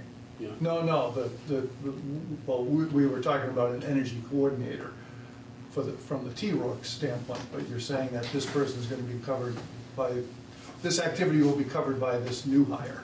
We will probably need to amend that job description to include some of this stuff, which will also match our preferred candidate. I don't want to beat around the bush. We got close, but not there. Some of Okay. this will be resolved. If everybody could exercise patience, will it will become clear. So, so that- that there, i- well, is there uh, in, in this position uh, a uh, beyond grant writing? It seems as though uh, energy coordination uh, in the town would require some, some focus on current energy use patterns um, and some history of, of the, of our infrastructure and how it performs, not just seeking grants. So I'm wondering, is that, is that true? So Josie, I think what, I think what you gotta do is trust us, that we got this one. This is the best approach to it, and once we can finish and have it official and we announce it, you'll be like, yes. But just. That'd be great, thank you. Pause for a little bit and, May just offer one, one more comment? Um, Sure. Since this came in late today, this IREC project summary, this is essentially what, as I understand it, Jeff Grout has been doing for the other six or seven towns that have already, the IREC one.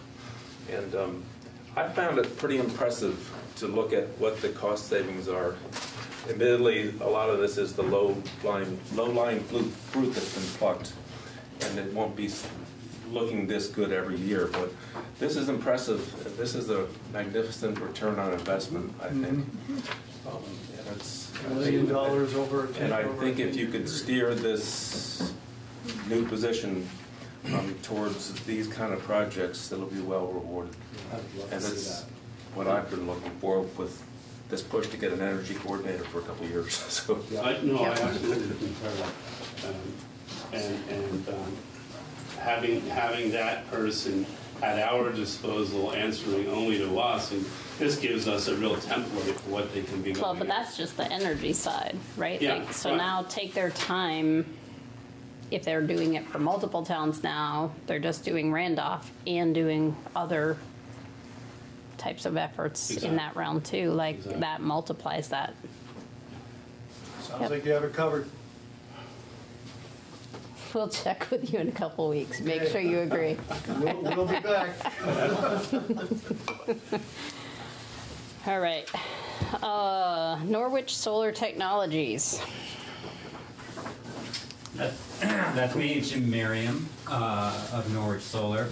Uh, and I will say one quick plug before that. I was also the director of Efficiency Vermont. And if you're looking for services that are free and guided, I would definitely have your future energy coordinator, which I'm sure you're already doing, work hand in glove with an energy co- uh, energy consultant at Efficiency Vermont. Source of rebates and tier three funds from the utilities. Um, Well said. Thank you. Uh, so on to today's matter. So I'm here as the applicant for uh, Randolph Davis Solar, who received uh, a request from the Public Utilities Commission to, uh, which should be in your packet, to very specifically uh, complete the evidentiary record for the project, which is to uh, have the town select board and town planning commission um, document that they have seen a drawing and a survey that shows that we will not be installing solar panels on slopes greater than 25%. Uh, and again, the, the uh, order should have been in the packet, the very last end, it's a very short request. Uh, the condition it wanted satisfied was a letter from the town, RDS Exhibit 2, I believe. Um, and in it, it just basically demonstrates, we have to demonstrate to you prior to construction that we've shown you a drawing that's, we're not installing solar on slopes greater than twenty-five percent. So I've also provided a letter for convenience that uh, is very short and sweet, that basically says that the town board, boards, uh, have seen the survey and uh, we have satisfied the requirements of the town original request, which was to see a survey uh, prior to installation. I didn't send it, I think it's important, if you make a decision, I'll check with the folks at the PUC. We put a letter on town letterhead that meets exactly what they're after. Yeah. While we appreciate that help to help us, I think it's, we're at the spot where we wanna make sure we're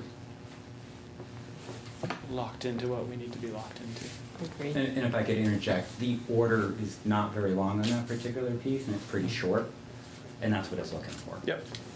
So the, the survey that was completed was done after everybody was questioning the slope? No, we, uh, the survey document that you have is dated February, February of 2022. Yep. What the evidentiary record does not have is that in the subsequent meetings where the preferred letter was upheld, we did not document or have documentation that we completed the requirements of you saw that, that survey. So even though we relied on the fact that even though the preferred letter was held and you didn't rescind it as the course of why this was met, the PUC, because this has gone on for a long time with a lot of Mhm. intervention, just wants to clean up the record to make sure that that condition was met and uh, that you've seen the, the drawing or the survey with the panels not on. Yeah, Just to clarify, this is the one we're talking about. Yep, Filed that was with the one that was provided. Right. Exhibit RDS MS dash two A, revised two nine twenty twenty-two, that's, and this was in the time frame when we were talking in this letter, uh, this, the request from the town came out. and so, there's a key down in the bottom, you had this, this is in the packets for anybody. Yeah, so the yellow Two, can't area. see the screen share. is the, uh, The the key yellow indicates shaded area this. Is the slopes greater than twenty-five percent. It's a The little hard. panels are the black outlines that are hard, difficult to see there, but those work around the um, shaded area. And the, but that survey right there that advises they won't be built on the twenty-five percent slope is done by a engineer, correct? Her- Or uh, a surveyor? Yes, exactly. Uh, if you scroll over to the right hand side, you can see that it's uh, Horizons Engineering.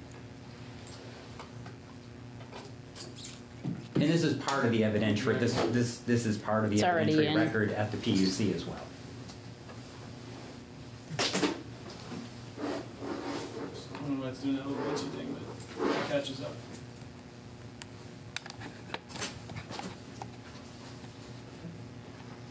So the hearing order, page thirty-two of that, we're talking about section eight under order, and it's number two.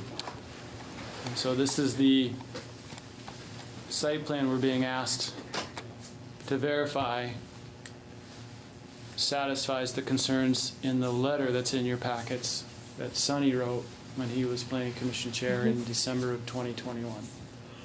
And that letter said that slopes greater than 25% were essentially off limits for panel construction and installation.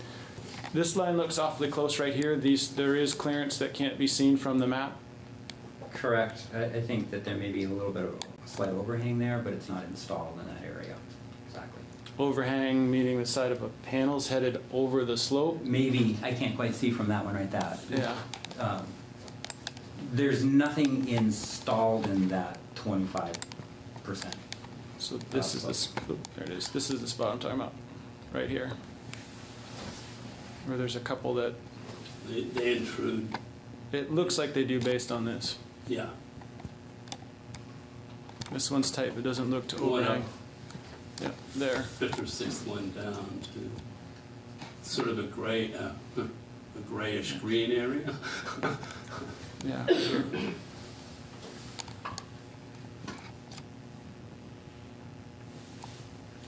So overhang being Nothing is physically panels or attached. ballots? This would be post-driven, and the post would not be in that area. The post would be all in the gray area.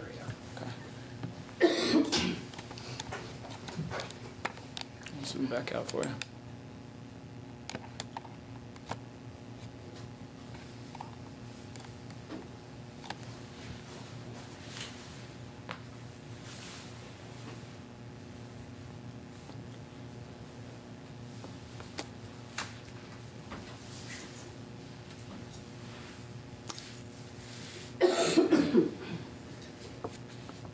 Okay.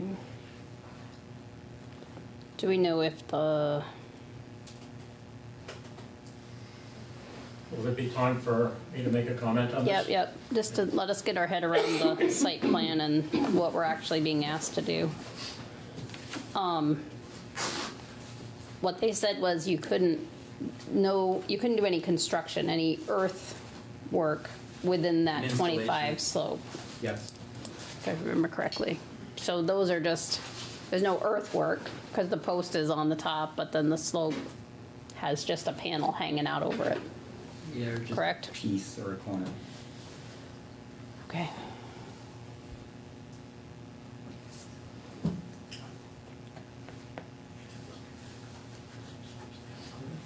Okay. This is another thing that we've encountered here that I've not been asked in 20 years, so thank you Well, I'm for guessing this continuing my isn't- education. Isn't Yeah. normal process for them either. Um, Okay.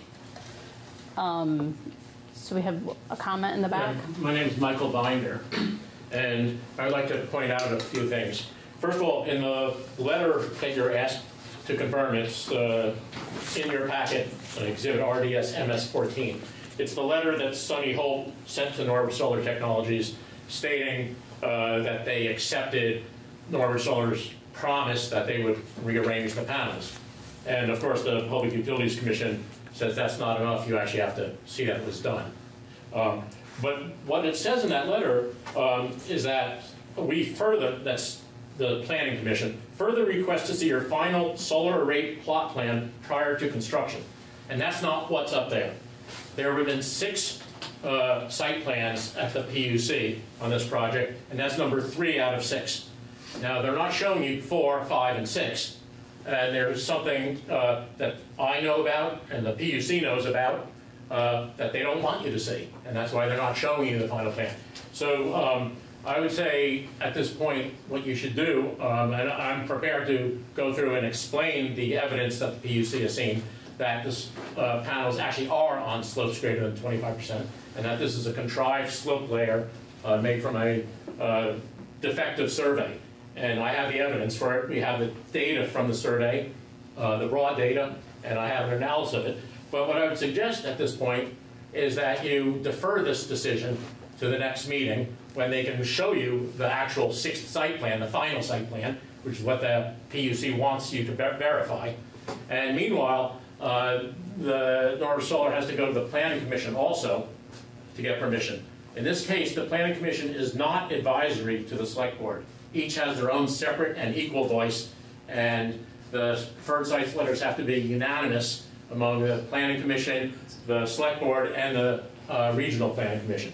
So in any case, um, what I would suggest is that you let this go to the planning commission first, where perhaps their agenda wouldn't be as crowded as this agenda is tonight, and let them uh, pass judgment, and then after they do that, if they judge that uh, they want to affirm the uh, letters, it would come back to you to do the same.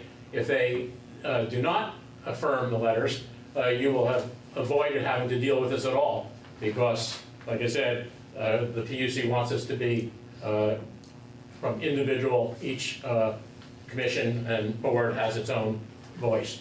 But in any case, this is not the final site plan that was submitted to the PUC. It's a third out of six. And therefore, um, it does not meet the criteria in this letter of them bringing back and showing you the final site plan. So, um, and if you want to go forward with the vote, I'd be happy to uh, try and present the evidence as best I can that the PUC has seen that shows that the panels are in fact still on slopes greater than 25% throughout, uh, not just a little bit of overhang there, uh, but throughout. Furthermore, to say that there's no earthwork in that yellow area is incorrect also, since they are planning to uh, develop that area uh, by stumping it, grading it, and so forth on very steep slopes. Uh, The road itself is on great 39% slopes. That has not been rebutted by Norwich Solar. In fact, their engineer has admitted it uh, in his testimony. And um, as you know, the Randolph uh, the, um, zoning here prohibits development on any natural slopes over 30%.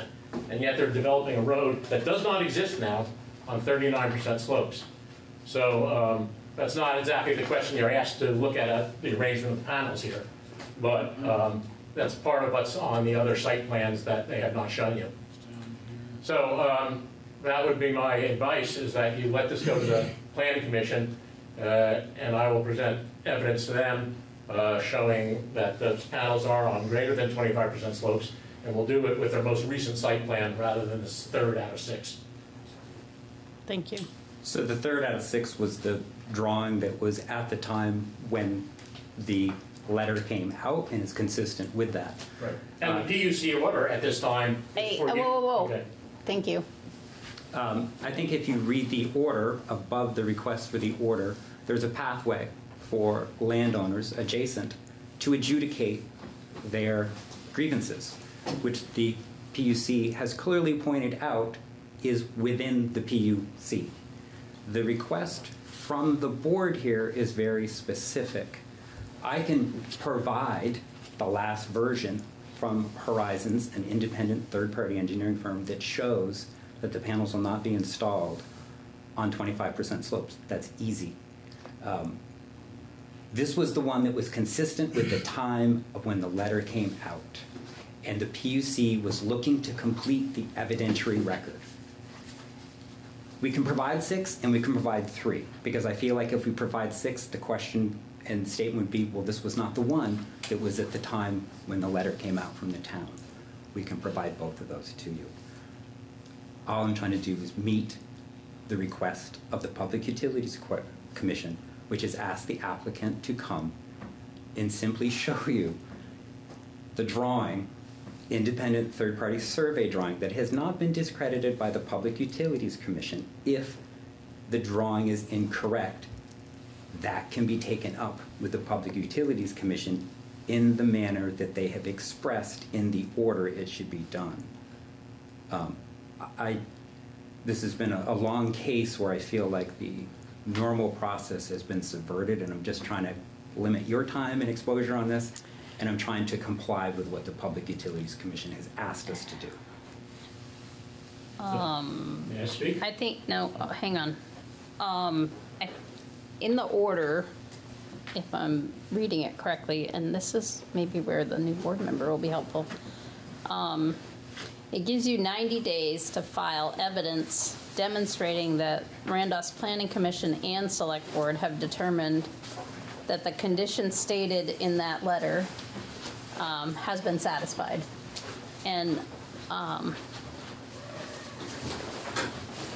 and then it does say that any objection or request for a hearing to contest the evidence filed pursuant to that paragraph, the, the thing, must be filed within 14 days, which would, would mean if anybody doesn't agree with what you presented to us and what the, but, um, RDMS 14 is Sunny's letter. So, um, but Sunny's letter, it's, it puts an interesting twist to it because what he says is, um, that you'll submit the, um, the survey before it goes to construction, correct? Is that what the intent is? It's not, It says the final solar array. stop please, Yes. Request, It's- request to see it. right, before it goes to construction. So, But it's a bit, I mean, bit of a what- circular argument there. You can't go to construction without a, without their permit. And what, basically what they were, not sure why the planning commission would have asked to see the final construction drawing that came out of the PUC. And like, I'm not sure, he did, they asked for it, which is fine, but that's just submit it to us. Like, that's a complete our file, or, because they have no authority after that point.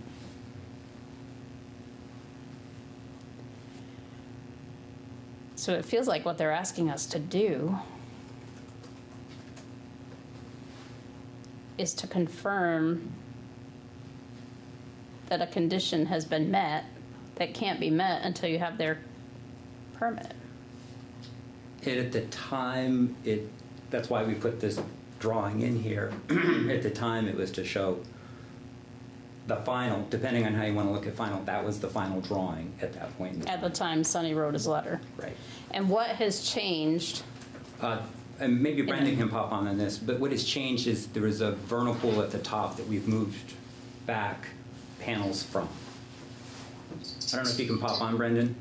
Uh, That's not on this plan. I understand. So, yeah, so can, let me just, maybe see if I can put a finer point on the question. Between three and six, what's different? Yep. So, uh, in the, at the very top, um, where. Up here? Right. Right where you're talking, yes, correct. There is a, a vernal pool that is off the parcel, but, uh, a buffer from that vernal pool, uh, has forced, uh, a relocation of the, uh, the northernmost row of panels uh, on the on the kind of left of the two rows of panels. There you go. So what you would see on the next version of the drawing is a of a um, a buffer from that vernal pool and the panels outside of that buffer. Um, just thank thank you for listening. The one thing I might say is just the condition that has to be met is the condition that, uh, at the time, Sonny as the chair, uh, uh, wrote in his letter, and that's the, that's the condition that we met by providing this site plan. So in response to his letter, we provided this site plan with the, uh, the engineered slope data. There were following site plans. Um, they were in response to other requests. So this is the site plan in response to Sunny's condition. And so the, the, uh, the request from the PUC is explicitly was, did the applicant meet the condition of that letter? And if so, did, did you, uh, did you see the uh, information that was provided? So that's this information. That's why this version is provided. This is the version that was provided at the time to meet the condition in the letter. And, but site plan six still meets the condition of the letter with regards to the slopes? So the subsequent drawings all show both slope data as well as uh, panels not on slopes over 25%. Right, and so um, if, if, for instance, the technology allowed and you were able to zoom in, you know, to a, to a very detailed level, there, there is not an overhang here. Uh, It's just a, a matter of presenting it.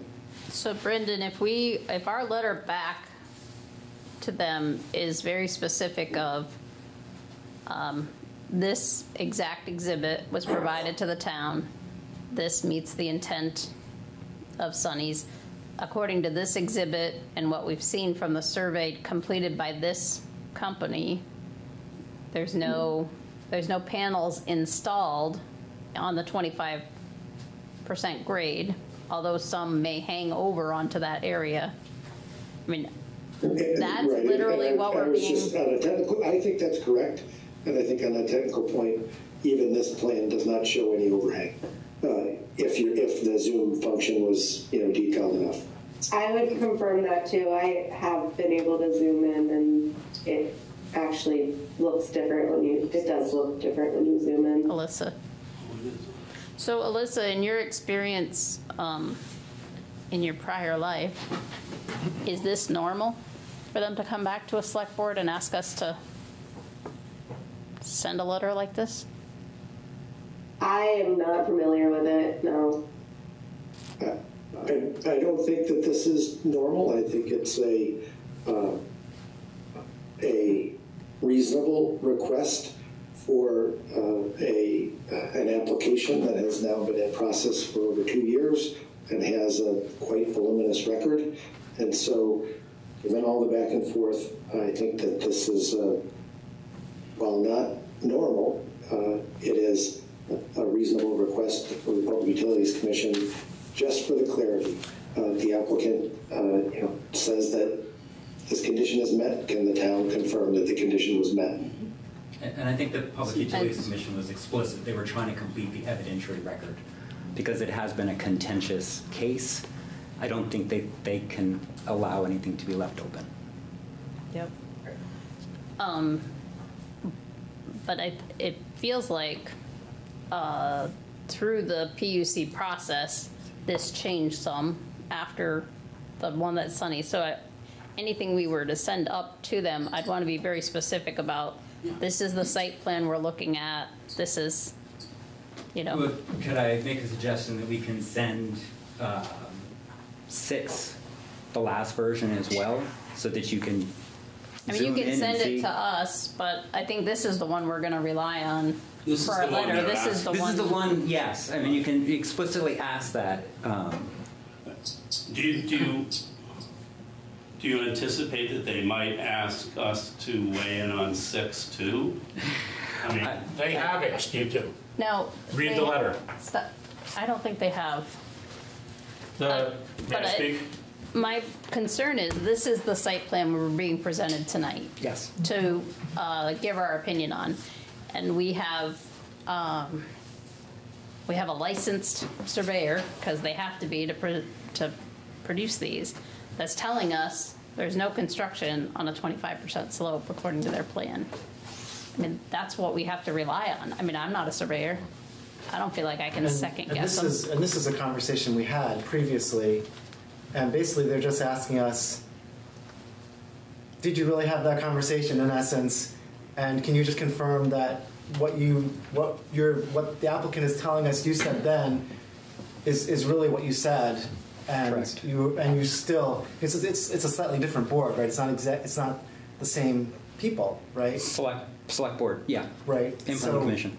So, so we're basically reconfirming our previous decision, which said we see that there's no panels being placed on slopes greater than 25%, so this counts as a preferred site. It meets the conditions of Sunny's letter. Yes. If you sent site plan six, site plan six is the final solar array plot plan prior to construction? It's the final plan that is available right now. So until you're permitted and ready to go to construction, you can't fully satisfy, but this is as close. I'm just trying to figure out how to, It just seems like it's Hit just both a of very, those. very much a PUC procedural issue. It's they're just coming back to us to make sure that what they think we're said we said that we really did say. Well, and I, and, uh, yes, I agree with you, and I understand where the version six is coming from, but Sunny's letter doesn't request version six. It says prior to going to construction. Prior to going to construction is after the PUC gets done. May I So read what it says? our- I got it right here, I just read it. No, May I read the last It's- sentence? It's the, my, cons- you know, my, I don't want to take version six, because that wasn't part of our decision-making. Right, Our that's- that's decision what we making provided is off this this version. What the PUC did with versions four, five, and six is after us. So to me, that's giving us new information and asking us to make a decision based on something new, which I'm not comfortable doing. No. Okay. May I read the letter? The We have last- it right in front Michael, of we have Okay, it, The and we last can read sentence it. says, "We further request to see your final solar array plot plan prior to construction." Prior to This is not the final, and not only that, this is not the site plan that Sony ever saw. Sony saw the first site plan and then requested that they make changes, which resulted in the second site plan, and this is the third, and there's been a fourth, fifth, and sixth. Now, Sony only saw the first one, and he requested that they see the final one prior to construction.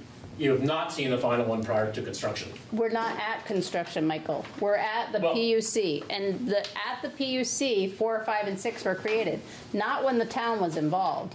This is when the The town town was wasn't involved with this one either. This is after the town vote. This was released in February. The, the December 2021 is when Sonny did his illegal meeting on December 14th, actually two years ago today. Okay, and the only site plan present When was the first the- one, and did they the objected to it board vote? because the first one showed panels on 40% slopes. Okay, mm-hmm. whoa, when did the Got sele- it. select board vote? on the first, the letter when it came up was June of '21, and then there was some action we revisited around this time.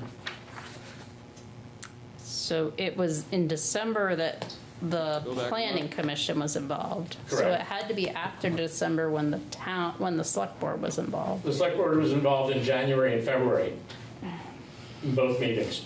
The, the board is talking right now, please. I'm sorry.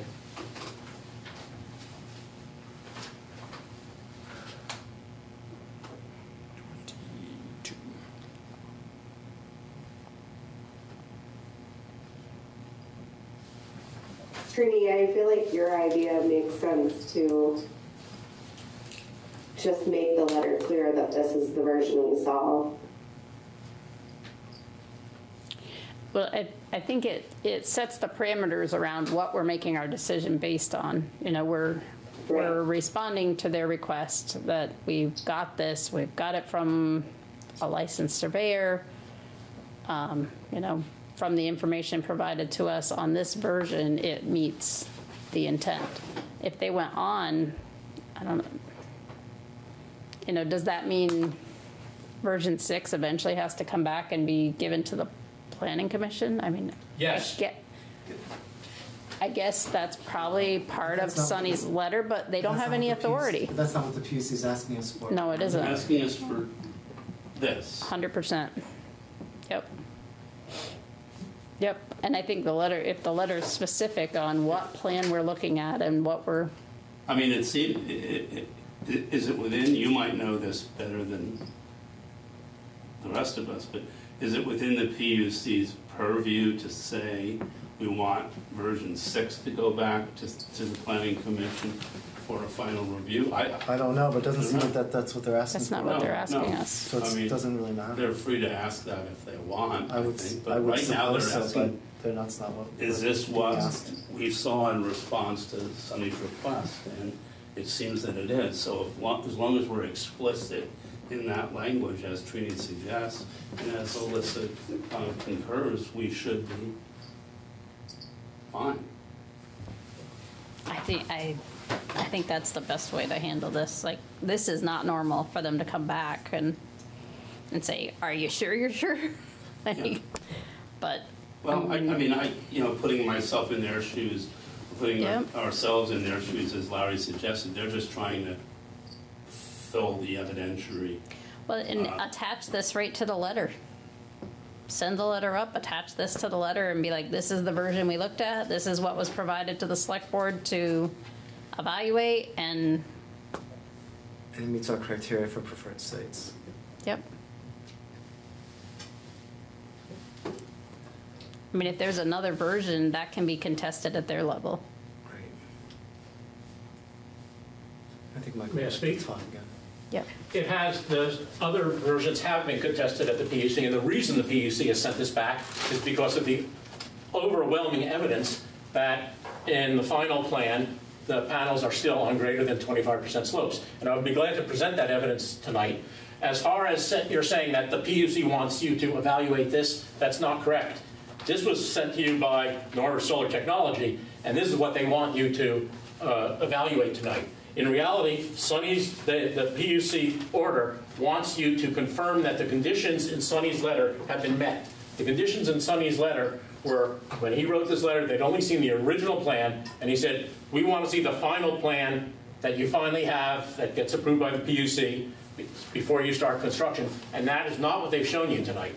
Okay, they've shown you number three, and the commission has sent them back to you to find out if the conditions in this letter are, you know, have been fulfilled. What it says in this letter, first of all, is that the slope, the panels are on uh, less than 25% slopes, and I can demonstrate they are not. And then it also says that you are supposed to uh, evaluate that on the final site plan. Sonny wants the site, final site plan that comes through the PUC to come back here uh, and be evaluated, because that's where you're going to get to see the evidence that these panels are not on uh, less than 25% slopes. So um, if, if you want to make some sort of statement that, well, this is what we saw then and we, that's all we still see now, I don't think that's going to satisfy the Public Utilities Commission. They're sending this back because they know that the panels are on greater than 25% slopes, and that's why they're sending it back. Are you sure? You haven't seen everything. You only saw, you know, these, these early drafts. These early, uh, We can be realistic. So, uh, is it possible that I could say a few words? One, one moment, Bre- Brendan, one moment. I, I think we can just be very specific in, in our letter, right? We can say, according to the survey, that we have seen the survey, which clearly indicates Well, we can That- note what it is. that the, that the slopes are less than 25% and that we've seen the survey. And the survey data conforms with our idea of what the preferred sites are. And if the survey data is, is wrong, if, they- if they did something wrong, then that's a whole other issue. We're not affirming whether the survey is done properly or not. All we would be affirming is that we have seen the survey and that the survey that we have seen indicates that this parcel conforms with our preferred sites. But, and I think we can not only mention what it is, we can attach it to it. Like if the PUC wanted us to say, if, if the PUC said to us, evaluate version six, they should have included it. Right? Like, that's after it left us. Right. And they don't say to us, we don't think they're being accurate, that there's no way this is on twenty-five percent. That appears to me something they would have questioned of them Uh, during the uh, if- process. If I could speak, uh, a licensed surveyor falsifying information for the point of Yeah. us getting a preferred site letter would shut good. that business down. And that would be of paramount importance to the Public Utilities Commission and professional boards. Can't imagine you paid them enough to shut their business down, but um, my preference on this is to just write that letter and be very specific. So I have a question on Mike. You're contending that this request is coming through Norwich Solar and not directly from the PUC. Absolutely, the order from the PUC asks them to come back to you and see if the conditions in this letter that Sonny Holt wrote have been satisfied. The Okay, hearing order says condition. Yeah, We're gonna get into one condition. It says condition. The one condition of a, of a site plan that shows not, no construction on a twenty-five percent slope is the- what we're being asked to confirm. Sorry to jump in front of you. No, And I, I, I think we've, we've really laid to rest this idea that we need to see the final construction. Like, that's really not what we can do, because like you not- said before, it's like, not there yet. It's sort of a chicken or the egg kind of thing. We can't do one that, that requires the other and go back in time. So we just, the condition, it seems really clear to me that, that the intent is that the condition is slopes greater than 25%. We're not going to be putting solar panels on those steep slopes. Mm-hmm. may I present the evidence that the PUC has seen that shows that these panels are on greater than 25% slopes? I don't That's think we, our that's not our, purview. ours, like, That's their purview. the- I mean, now you're gonna, we would need the other, the surveyor here to counter what's being said, and are you a surveyor? I worked as a surveyor, I'm not licensed. Yeah, so, I mean, now you're on an expert versus expert, that's the I was PUC's judged by job. the PUC expert on this thing, and that's why they accepted my uh, Yeah, and that- data that's showing that this is wrong. And that's why they come back to you, because they know that you put a condition that these panels must be on less than 25% slopes, and they don't want to give a CPG out and find out afterwards that the conditions were not met. That's why they want you to look at the final plan and see where those panels are. The panels aren't even arranged in the final plan as you see there, because like you said, they found two wetlands that they overlooked the first time and had to rearrange the panels again. But we're not, we're not judging the final plan. We're judging this plan. And this is the plan we're gonna attach to our letter. And this is the plan we're gonna tell them that we looked at this and this is the one that did it. And that they used a licensed surveyor. I am not able to tell whether you or their surveyor are the right party. I'm, you wanna talk railroads and airports and farming, I can do it with you all day long, but I am not a surveyor. And I don't know if any of us have the technical skills to say you're right or they're right. Well, I can What sh- we have to rely on is this is a licensed surveyor that stamped this plan. And it's his, if it's wrong, then you should take it up with the folks that, First of all, that's not a licensed surveyor plan, okay? A surveyor, you know, plan would look a lot different than that. This is a site plan for construction at the PUC. And secondly, uh, that yellow stuff you see on there is on the succeeding plans also, along with other data that shows that uh, the panels are not uh, correctly situated. Uh, I think if you read the, what the commission has asked, they've told Norwich Solar to go back to the town and see if the conditions in Sonny's letter have been met, the conditions, not the conditions. But the condition is, first of all, that the panels be not on 25% slopes or greater, and that, that the Norwich Solar come back to the town with their final plan so that they can see it. And this is not the final plan, and it says final plan. but right that's a different condition, Michael. We're gonna disagree on that one. That, we won't have that until they go to construction, and they're not going to construction.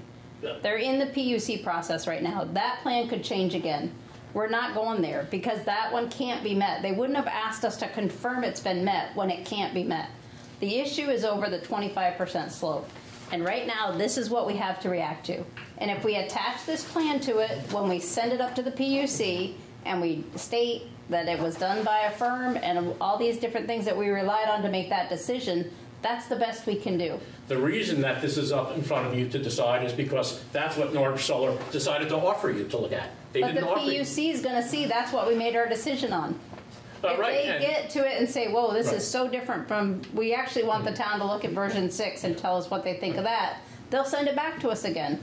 Uh, unclear, but, um, Um, Do, do we need a motion to authorize the drafting of, authorize Trevor to draft a letter subject to the conditions that you have Yep. stipulated? So moved. Second that. We have a motion and a second on the table. All those in favor? Aye. Aye. Opposed? so no Motion discussion after carries. the motion's made? No, It's moved.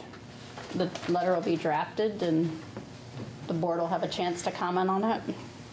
and then it'll come out, it'll go to the PUC and be copied to both of you.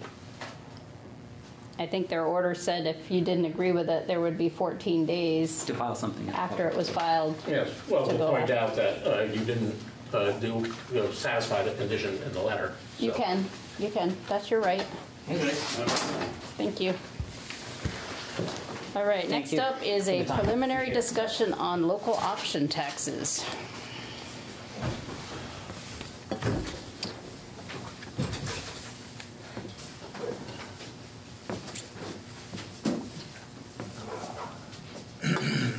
Come up, I think, a few different times, just in the packet, it's just some very preliminary information. At one point, I was gonna try to provide you with both a pathway and an estimated yield, and I thought maybe I'd step back and see where you wanted to be first, um, before we went into that.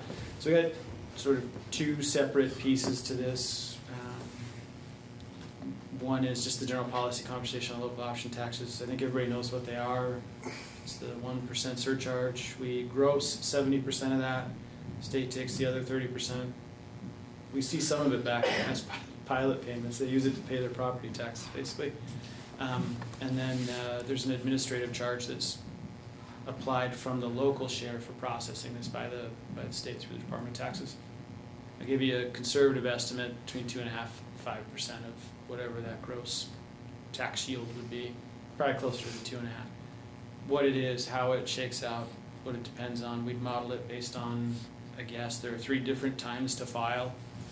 And so we essentially would split those into thirds in terms of each amount and combine them all and come up with an idea. Until we were up and running, you wouldn't know sort of what that trajectory is, but it can alter what that administrative fee comes out to be based on how people file.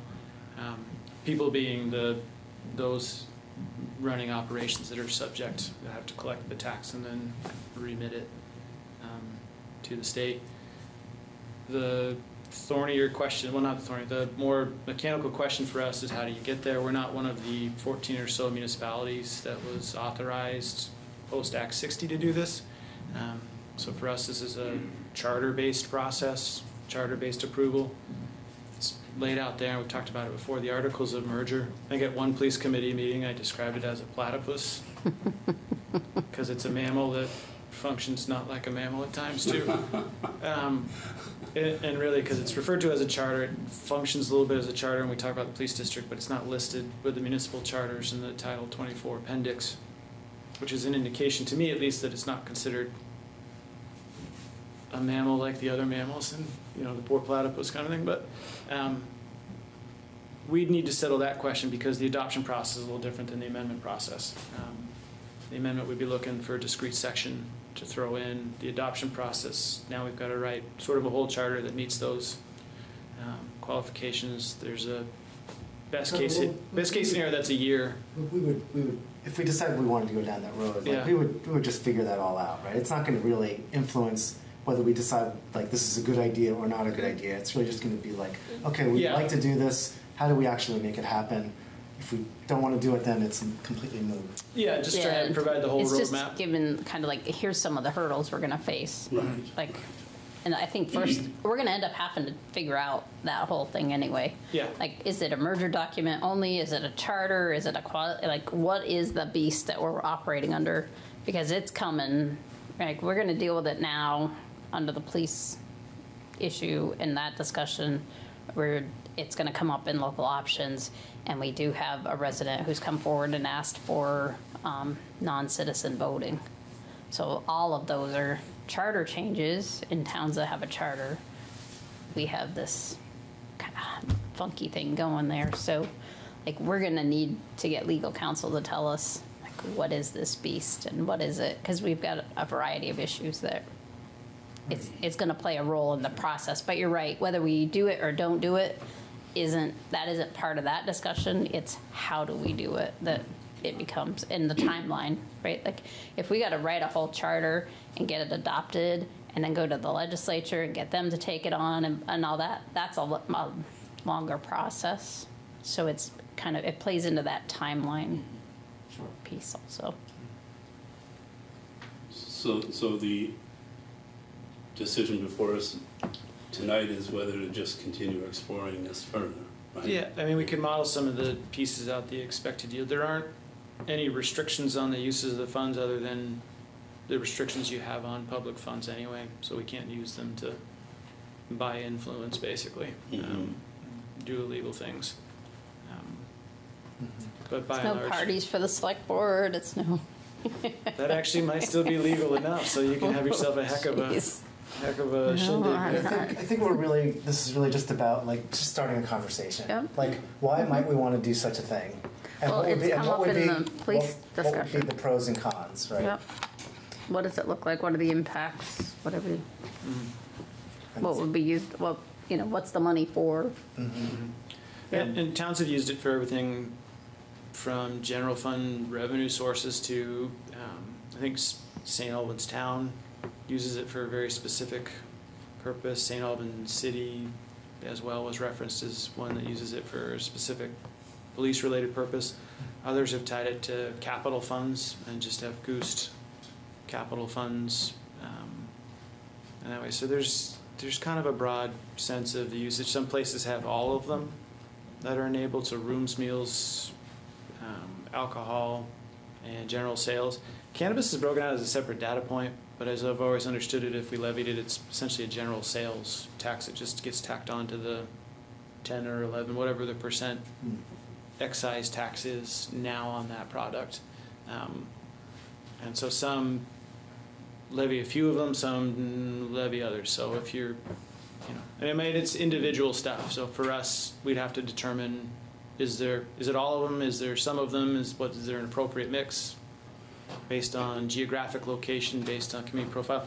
Woodstock, I think, what Gives does. it all to their Economic Development Commission. And do they do the sales or are they just rooms and meals and Rooms- alcohol? Rooms and meals and alcohol, but not sales. Yep, so they're hitting the But visitor it amounts to a demographic. significant, it's Yeah. five hundred thousand dollars a year. I think, I wonder if Stowe's in the same boat where they And, might. and they use it entirely for economic development and marketing and tourism marketing initiatives.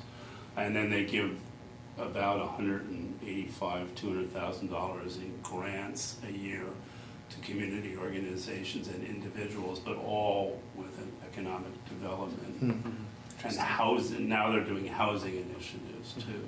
And they're, they're layering that on. Workforce housing development has become a, uh, a central way they're using it. I don't see us getting five hundred thousand a year. Hmm? I don't see us getting five hundred thousand Oh, a no, year out of this. probably not. You're definitely not Woodstock. It's one of those things that's hard to calculate individually. There are no restrictions on where we allocate the No. funds raised. Not unless we put them It's on interesting that ourselves. the state gets thirty percent, but then they tack on another two and a half to five. Why don't they just say we get twenty-five percent and be done with it? You know? I, I think, I wonder if some of that's tied to, there was a, for years, a general hesitation out of the, on the House side in the Ways and Means Committee on how broad, what should be the mechanism, Yeah. who's taxing authority, and it fit into roles and responsibilities. And so it tended to be, let's make it, keep it charter-based, because for years, the league has been asking for, just let everybody do it by vote, you know, generally enable it, um, as opposed to making it a charter-based provision. Because, yeah. Well, they're gonna have to do something the more we start digging into these things where there's these mandates and no way to fund them.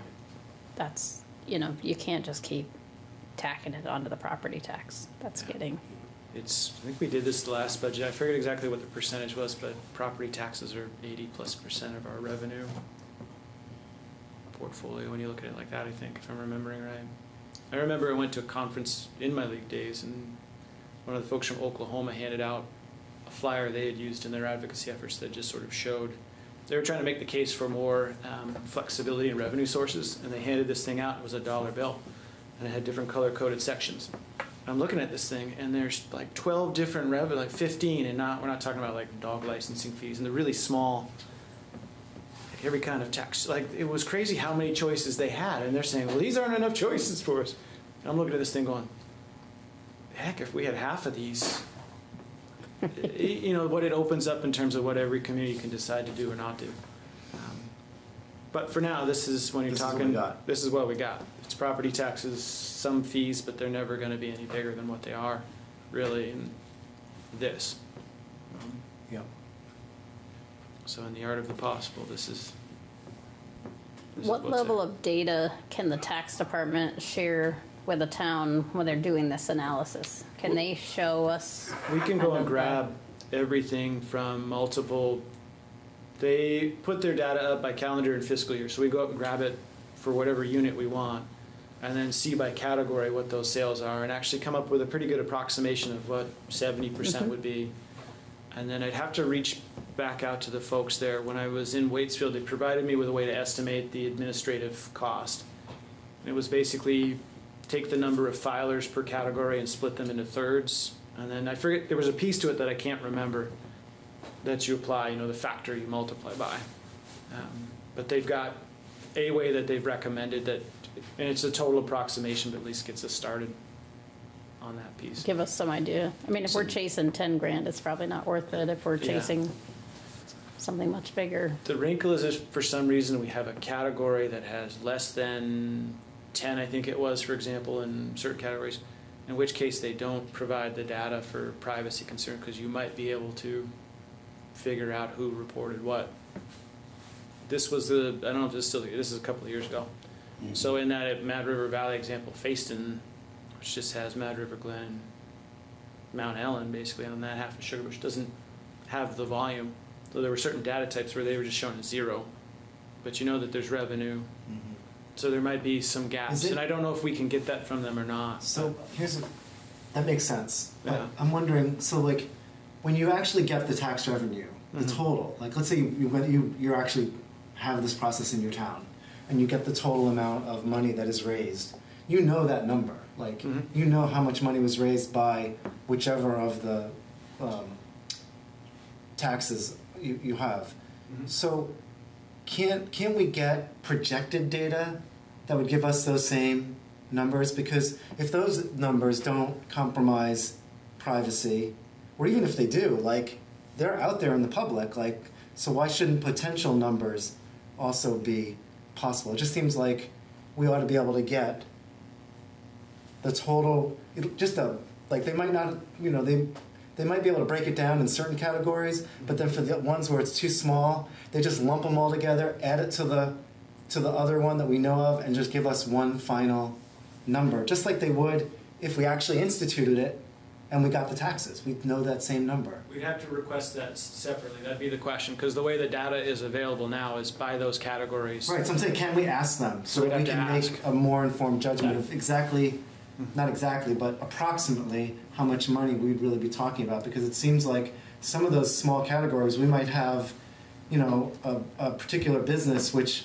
is generating quite a bit of, you know, revenue, Mhm. but they're like, but there's not that many of them, Well, the and ho- so it would make a difference in terms of what we might. Hotel, yeah. Well, and there's some that we'll just, Yeah. and there's some that we might, yeah, that we might expect, but we won't have data for at all. And, and, you know, what some communities are starting to look at is folding Airbnbs into, of which we have several that I'm aware of. There's quite, no, there's quite a few in Yeah, town. quite a few, including mine. Um, But, um, I, yeah, yeah.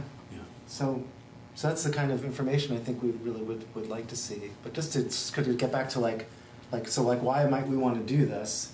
Um, I think one of the reasons is that, well, we're identified lots of places where we want to spend money on really good things, and we don't have the money. And one of the really nice aspects of at least the rooms and meals tax is that the money is going to come from significantly from people who are not our citizens, right? So we're going to ask people who make use of our services, who are passing through, to pay for a little tiny piece, a little tiny piece of, of what of what they're experiencing, and I think that's fair. Um, it diver- diversifies our our revenue, like Trevor was mm-hmm. saying, which is also never a bad thing, and especially for those taxes, most of the money that is spent locally on those are for things which are more in the. You can make an argument that it's not going to be completely, and I really do get that. But a big chunk of it is going to be so more sort of on the sort of non-essentials, right? Like we're not we don't force anybody to spend the night in a hotel. We're not going to we don't force anybody. No one needs to go out to eat, and things like that. So, you know, it feels like if we're going to have a tax which seems fair and which doesn't impact lower income folks, that at least that feels like a reasonable place to start saying, what would that really look like? I think you gotta be careful though on the other side of what is the impact of it.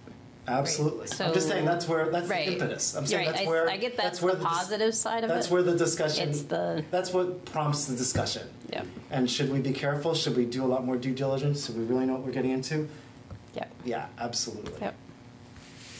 Yeah, I think you've got some businesses that are teetering right now, and if you lose enough customers and, yeah.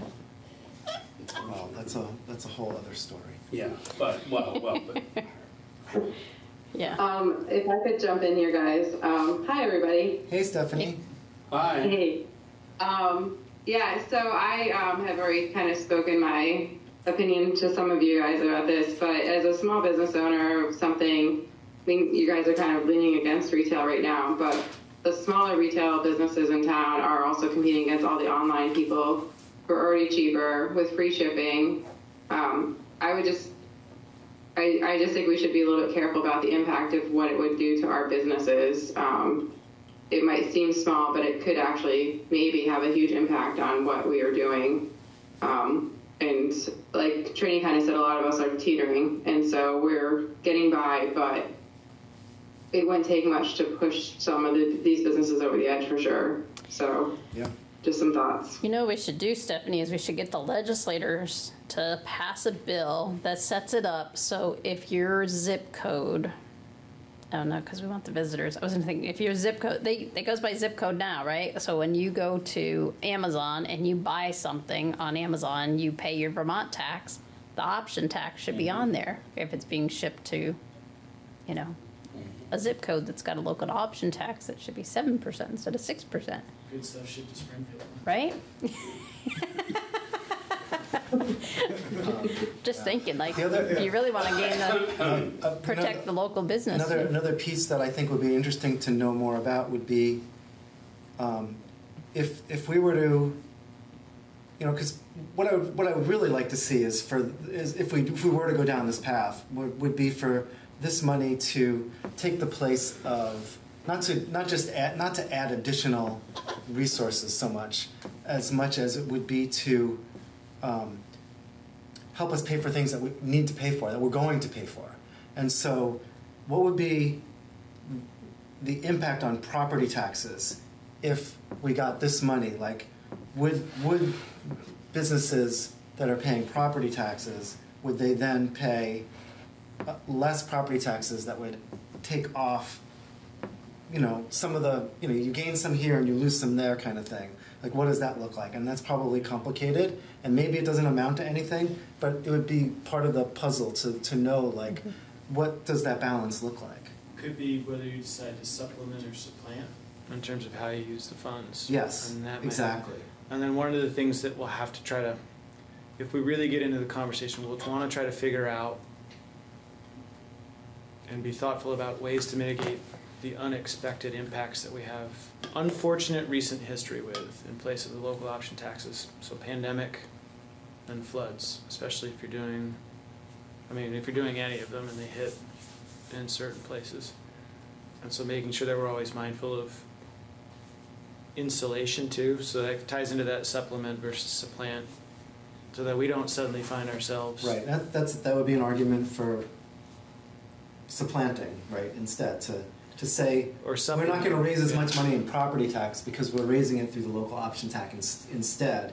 And so that way if you had a, a catastrophe which affected the local option tax then you can say well we just need to raise property taxes. But we would have if we didn't have the local option tax we would have had to have raised them anyway to do these things that we have to do right? Is, am i hearing you Maybe. correctly? Maybe. I think the Maybe. appeal is that you set it up so that maybe the proceeds go into, say, your capital reserves. So then if your revenues bottom out, theoretically you should have Oh, some yeah, sort of that's- savings sure. account built up That's no, that's a great idea. So to keep so, going and then So it could go into a capital reserve Mhm. that, in some sense, would have otherwise been paid for through property taxes, but you wouldn't necessarily.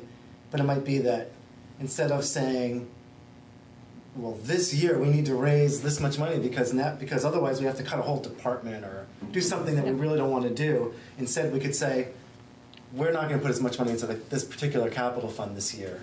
Or we're gonna delay a project. Or we're gonna, yeah, Right, and we it's gonna less delay. revenue, we're and just it'll gonna delay a project It'll delay a project, but it's not, but it's not gonna have the kind of, it's not gonna make a cut in service, for example. The worst choice might be to tie it directly to debt service payments, especially if they're larger, because we gotta pay that when it comes due, no matter, no matter what. So No, that, I- that would be, some have done it, but that would be the one That to. does, no, the idea of dedicating this to, if we were to do it, to dedicate it to a capital reserve, that, that makes a lot of sense. And then the capital reserve just goes up or down by more or less than we think it's going to. And we have this already, right? When we have, sometimes we have surpluses that go into a capital reserve, and sometimes they're big, and sometimes they're non-existent. Um, and that's how we deal with that. We just take that money and we just throw it into the capital reserve. I think before we get to the conversation of what we do with the money, we gotta figure out if we're gonna even do it. But, and I, But it's, but there's a lot of it. legwork. But it's part of Yep. whether it, what we're going to do with it informs whether it's worth doing. Right? So I think we do need to think about where it's going to, how we would make use of those funds if we had it and what that would look like. I think it's all part of the, part of the picture that we need to think about. Oh, I, it's definitely part of the picture, but like, again, eh, are we talking ten thousand dollars? Are we talking thirty thousand dollars? Are we talking, I think that's Yeah. step one, like, is it Oh, even oh, worth yeah. How all much this mon- time oh, oh, for abs- no, nothing? abso- absolutely. How much money are we talking about? We need to know that. fir- That's, we need to know that first. I- I And still is- have is a it even sheet worth- from Waitsfield, so we can plug in our numbers and it'll calculate out. So we can, we can probably come up with yield fairly quick, it's just filling in a couple of the holes. There was one category, I forget which, where there was nothing reported, but that we know we have businesses.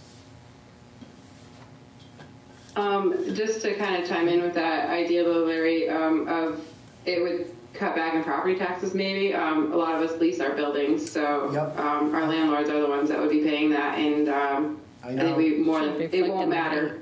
Yeah, I, We'll I be can. collecting the same amount yes, rent. yes. No, I, I, I understand that, I, and I, I should have mentioned it as as I was talking about. I yes, you're completely right.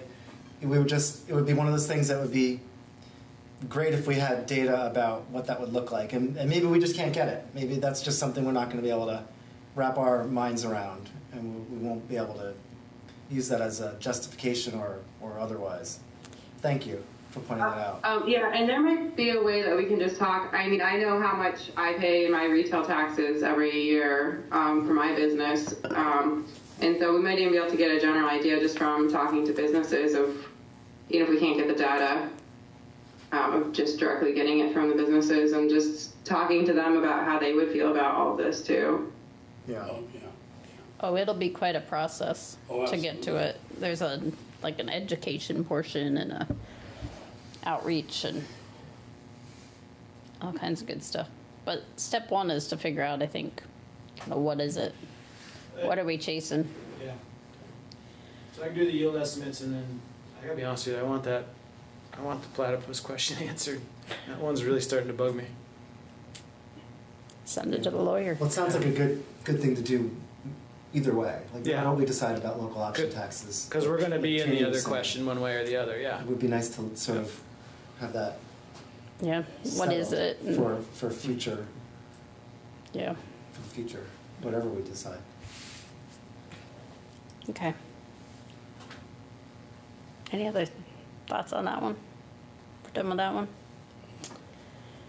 Landowner access agreement with Ridgeline.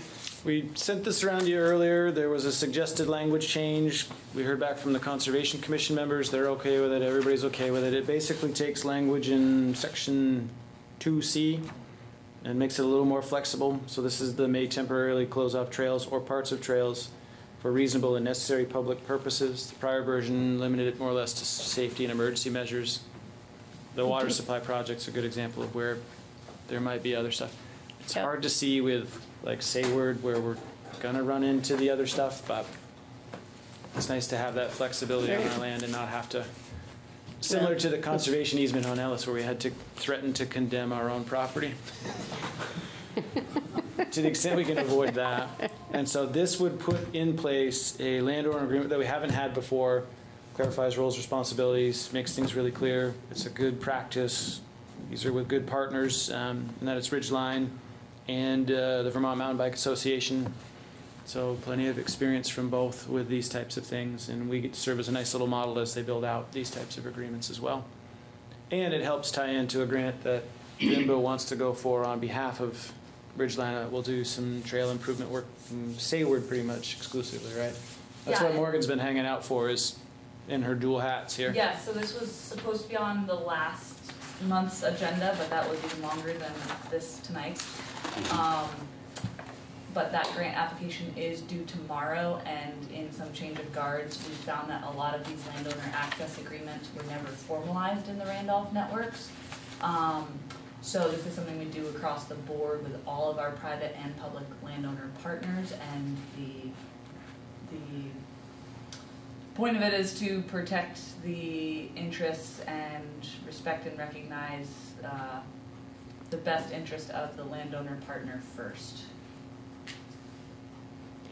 So did anybody have any questions other than the one that got fixed? When I read through it, that was the only thing that's, that popped out to me. Everything else seemed pretty standard. Anybody want to make a motion to accept it? I'll make a, a motion to uh, accept the updated proposed zoning bylaw amendments. Oh, I'm sorry. I'm reading, the- I'm reading, now I'm reading the next thing down. Yeah. I, I got ahead of myself there. Hang on a second. I, it jumped onto another page, so. Landowner, Yeah, the landowner agreement, I'll make a motion that we, um, accept the landowner agreement as modified.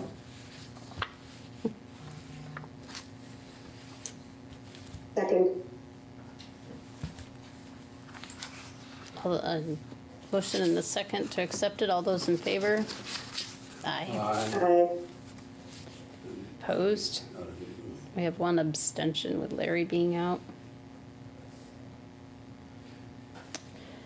Update on the proposed zoning bylaw amendments.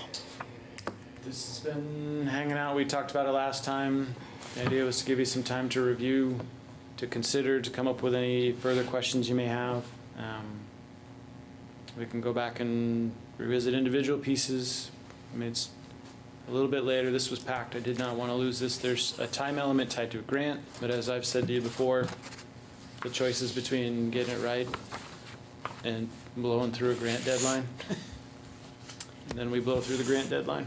Um, So I looked at this and have concerns about this in a few different areas. Um, One of the challenges I see is that we're now taking this down to 5,000 square feet for a home. Um, And buildings can be 30 feet apart, 15-foot setback from both property lines.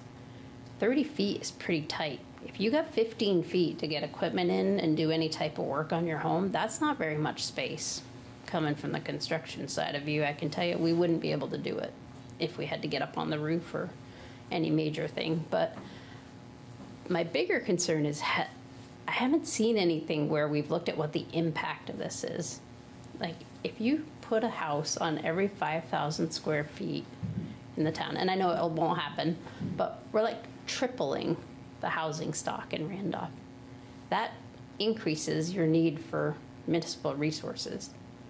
How do we pay for all that? Mm-hmm. Like, I, and I know like zoning doesn't get built out and, and isn't that quick, but if I understand correctly, some of the predictions are that with this change in just the buildings that are there now, right, taking a large home and splitting it into two residents and changing the garage into a home too and whatnot, could potentially bring a hundred new families into Randolph within the first year. That's a big number. I mean, first off, I don't think it's gonna happen. I think that's a very unrealistic value, but like that alone is a big number. Um, the full build out is, I think, but around four hundred or 400, four or five, hundred. something like that, yeah. Four hundred, five hundred families, but like, I don't know that we've evaluated the impact on municipal resources. Like, what is our, what is our demand? Like, what does that do to the demand for But fire coverage? doesn't it bring, I mean, resources as well and, and I mean, if there's a hundred more families living in town, there's a hundred more people paying taxes and Not and necessarily, though, right? visiting businesses. Well, I think the question is like, what does, what does that look like built out? And what is the revenue that would come to the town? Like, if you're taking a home and making it a duplex, what's the difference in the grand list value for that? Shouldn't be much, right? You just added a wall. You know, you know what I mean? Like, that building is now a duplex. If, if you're taking a garage and you're changing it into a home, you probably have some change in the grand list, right? I would think the value of a home on the grand list versus a garage would be a little bit higher, but I I apologize for stepping out. Can you tell me the question you're responding to? Oh, we're talking about the changes in the bylaws and the housing part of it. Mhm. And like where the, if you look at the density that's allowed now, we're just talking about like the high density area, the five thousand square feet and houses able to be thirty feet apart.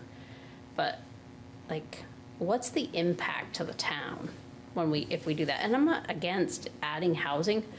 That just to me seems like a lot.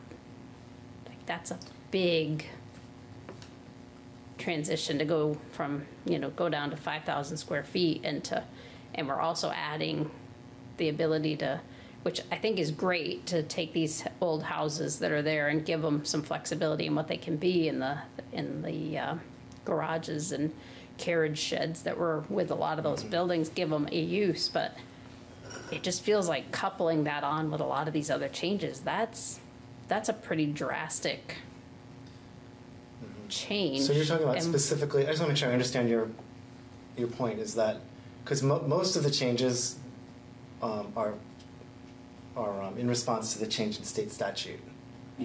Um, But the ones that, but there's a couple that aren't. And one of them is the minimum, is the decreased minimum lot size in the high density areas. That's what you're specifically. Yeah, what I'm trying to get my head around is if you look at every five thousand square foot, you could have a house, right? Like, what does that mean for the town? Like, Right. when we're making a change that big, we should be looking at what is that gonna do for demand on the public services? Like, what is the, what is, what's the impact of that? Right. You need to say something, Tom? No, you're going to get revenue generated from that. Right, but You're is talking about it? new construction? If it's new construction, right, some of these will be just changing over existing structures. Right. Which I, it's, to me, that's an Yeah. easy one, but it's not gonna Accessory have a dwelling units, huge, accessory- Right. there's not a huge change there to the, But all that to the accessory grand list, dwelling right? stuff, all the duplex stuff, that's all required of us by statute. and, but, but there's gonna be an impact to it. The- Right. Right, right. And but this we- is where we don't have a, but we don't have a choice as to whether accept that or not. Agreed. But we know the, the quantity of that, right? We only have so many structures in, in the area that can be changed into that, right? Right. So we, we have that number. That's an impact that's coming. We still don't know what that could be, right? But that to me isn't gonna bring you in a lot of extra tax revenue, right? So we now have a mandate from the state to allow accessory dwellings and whatever, and to, for these structures to be split. But there isn't gonna be a lot of tax revenue. Taking a house from a single-family home to a duplex isn't gonna change the value of it much for a grand list piece. The garage might change some, but I don't see it being a huge amount. Right. I'm just, here's, my concern is that if we take all this as one and we run with it all in one, we could find ourselves going, shit, how are we gonna afford this? Like, it's, We struggle to meet service expectations now. But I guess what I, what I want to point out though is that ninety-five percent of the changes are statutes, are by statute. Like we don't, we actually don't have a choice. We're just conforming to state statute. The, the one exception is, is minimizing, is, is making the minimum lot size smaller. And that's, and the- and so that's the one we have control over. Well, that's the one you're talking about. That that's plus the one that has the biggest impact to us So- with Plus no the five acre, known. that five acre piece too. Yeah, I got is an another issue with that one too. I was Yeah. taking them one at a time, but the, it's the, yeah, Like, did they, was there anything done in the planning commission to say this change is gonna create this demand or this? I can tell you what, what my recollection of our discussion was. Um, in terms of making the minimal lot size smaller, um, one, one consideration was that we already have many lots, many lots that are already smaller than 5,000. Um, and, and many that are between, I think it's, I think the current minimum is 10 or 12. And we already have many that are between those sizes um, as well, that are kind of grandfathered in, you know, when, when the zoning happened. So we have precedent for it, and we already have places in town where it exists, and it seems to be okay. Are they non-conforming lots? Well, Currently, I mean, they they don't. Yeah, I mean, they're. I guess they must be non-conforming because they don't. But they, but they were already in place, so we couldn't undo them. Um, and I think the other part of the the calculation is that there's there's so much there's so much pressure for increased housing that in some way or another that pressure is going to be is, is, needs to be relieved somewhere, um, especially if we want to have impacts on on local housing costs. And so, if we can do something to make it easier to or less costly to build in the already developed areas, it could take some of the pressure off people who are trying to build in less developed areas. And if we're going to have a new unit of housing built, I, I personally would much rather see it happen in, in the already dense village where it's already on water and sewer, and we don't have to construct new power lines, and we don't have to make new roads, and we don't have to add traffic to dirt roads, which are already hard to maintain, um, than, than to see that building happen outside the district. So I think that's part of the, the vision that, that I personally have taken to heart when thinking about didn't you know increased development is coming. Where do we where do we want it? Are we just going to say no we don't want it? Or are we going to say okay we can have some increased development but we want it in these places? My concern is controlling the volume. you know i Well- it's Like, how do you I- do I it think- in a managed way versus just, Yeah, I, I mean, I think like, I think much of that is just going to happen naturally. I mean, it's not like we're suddenly going to have a rush of people saying, "Oh, now I can subdivide my in-village lot," and like you know, that's it. Just doesn't really Plus, how much? I mean, have you looked at what, what the volume of, I mean, how many lots are there, really? I mean, realistically? That could be realistically divided Yeah. to, to to do this. I mean, Yeah, I don't know. would be, and that's what's missing, right? Like, what does this look like? What is the, when you did the, when you made the decision to go down to five thousand, there wasn't anything that said we have twenty lots that this could apply to versus a hundred lots this could apply to, like, w- I guess what I'm trying to get my head around is like what what hap- what was the what's the data on this that shows kind of what this might be, what the impact might be. Like if you're gonna have a whole bunch of houses, is our water system gonna be able to handle that? We have lots of Are capacity. we- In fact, that's an argument Well- for putting more units in town is because we have a, We- we have we have a lot of capacity in the water district for and sewer district. Um, Sewer, I agree with you. Water, though, I'm not. Um, it's certainly Sure my, where that's my, that- my understanding is that we have plenty of We've got healthy capacity. capacity. If we move Pearl Street to reserve capacity, and it turns out the North Wells are on the low side of yield projections, and you add enough units and/or commercial enterprises at the same time that are high water users, that that would be the question, how quick do we get to that cap? I think wastewater, thankfully, that's a, a blessing, is we got plenty of that as a capacity.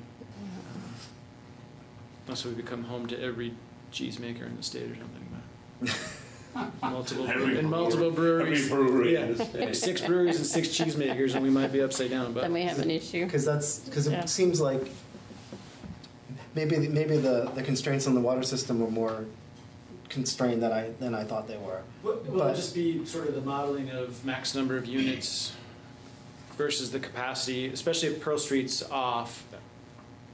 and/or the consideration is, is there a way to, is there a way to do something else with Pearl Street to keep that yield somewhere in the mix, somewhere down the line?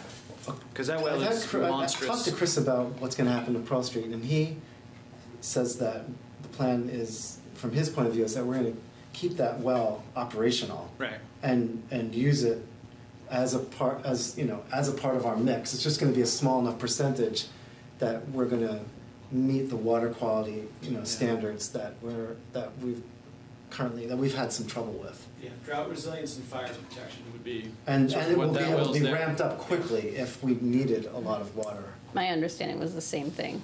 If there was a large fire or something and it would be able to come online for backup, but it wouldn't be part of the daily mix. The DEC has indicated in conversations that that makes sense, so I think there's a pathway. And then, so the larger conversation will be, if it stays as it is, are there other things you can do to that well, since it's already permitted, we leave it online? I mean, you'd have to, you're talking about the manganese removal really is the Yeah. thing.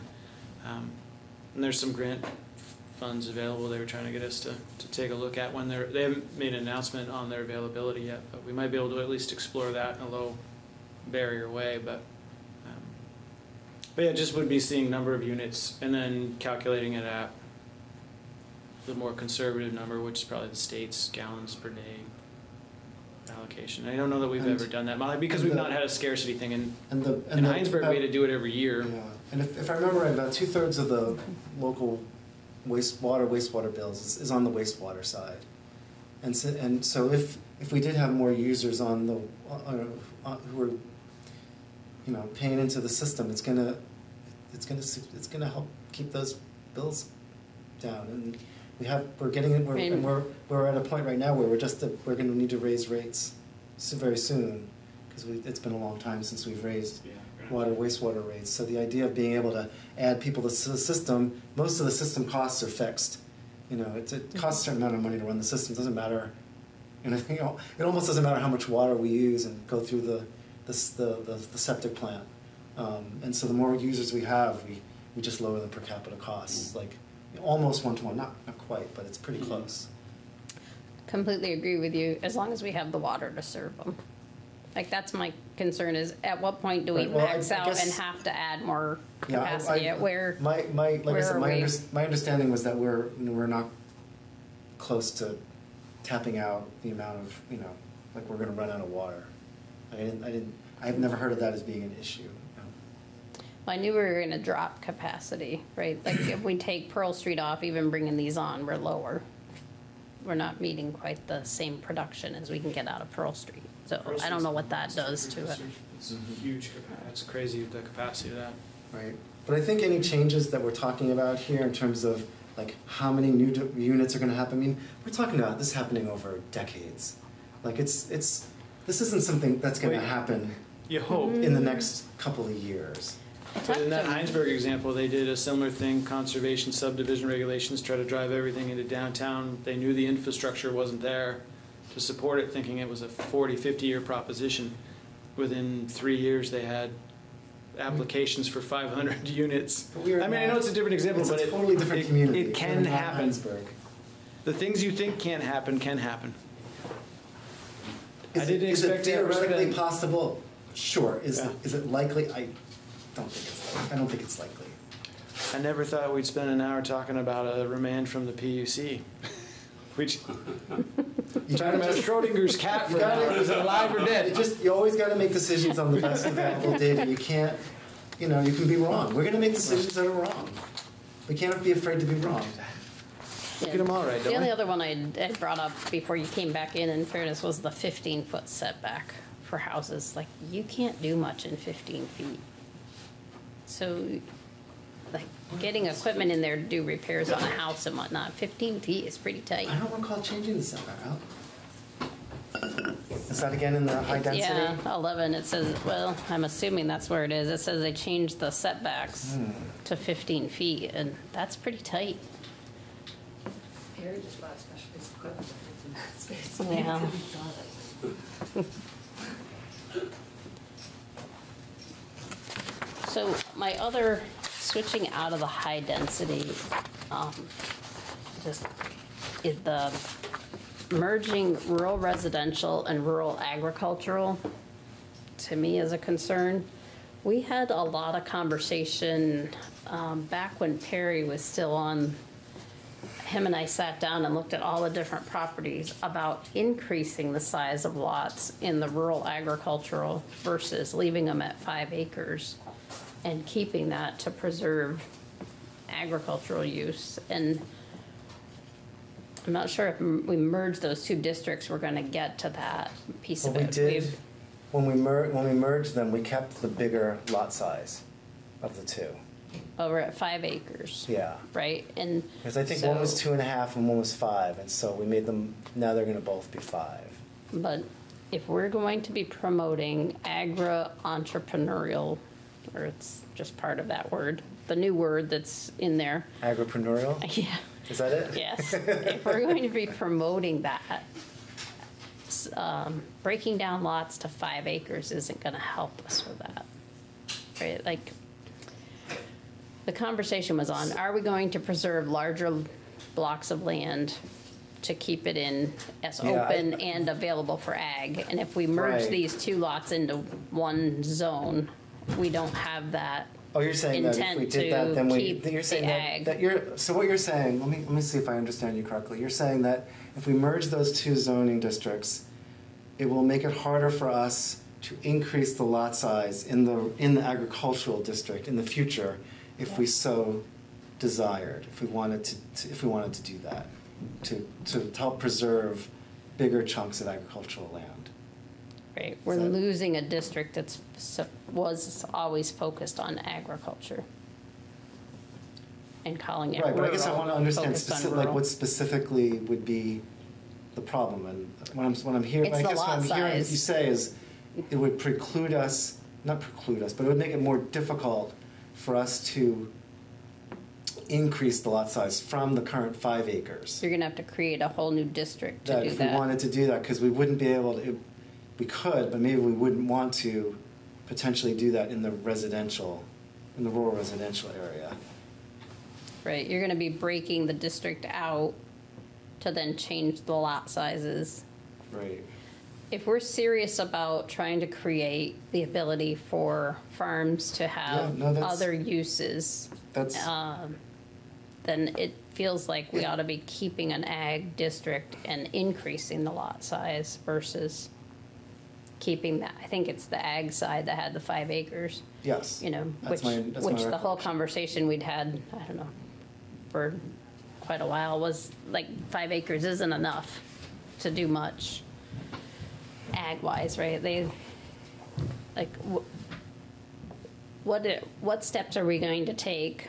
If we're gonna say five acres, right, now the whole town, you know, and it could be for, you know, could be split into five acres for housing. So if I have a hundred acre lot and I can now have twenty houses on it, right? And so if I'm, if we're looking to preserve land to be used for ag, we haven't done that group any favors by allowing it to go down to five acres. If you have Right. twenty-five acres. We're we're not, we're not making it go down, we're keeping it at Right, five but acres. having it at that five acre doesn't help us preserve that land for agriculture. Right, right, right, no, I agree, I agree. That's a Right. good point, that So did not come up in our it's- discussion. Yeah, no, that's, I, Just trying to look at like, I, I think that's an excellent point, I think that's a really powerful argument for keeping them separate. And looking at, when we redo our town plan, that, do we want to, you know, have a more heavy emphasis on preserving agricultural land in that district? And if so, will making the lot sizes, the minimum lot sizes bigger, um, achieve that aim? And, um, and we could hold off on making that change until then. Because, you know, the, the, the impetus for, all- for all these changes was simply to, um, have the town plan and the, and the zoning, um, in sync. you know, in sync. And so, Yep. um, I'm not an expert on whether this is, part- was part of that effort or not, but we have, I think, somebody on online. Sydney's nodding her head. Sydney, can- Sydney, will you chime in? Yeah, so this was part of that um, attempt to bring the bylaws in line with what was, I believe, a the, the planning commission should consider combining these two districts, um, and then the town plan and its descriptions of the land use areas did show them combined. Um, so the planning commission in its deliberations decided to bring the bylaws into as close of um, connection with the town plan as, as they could reasonably do.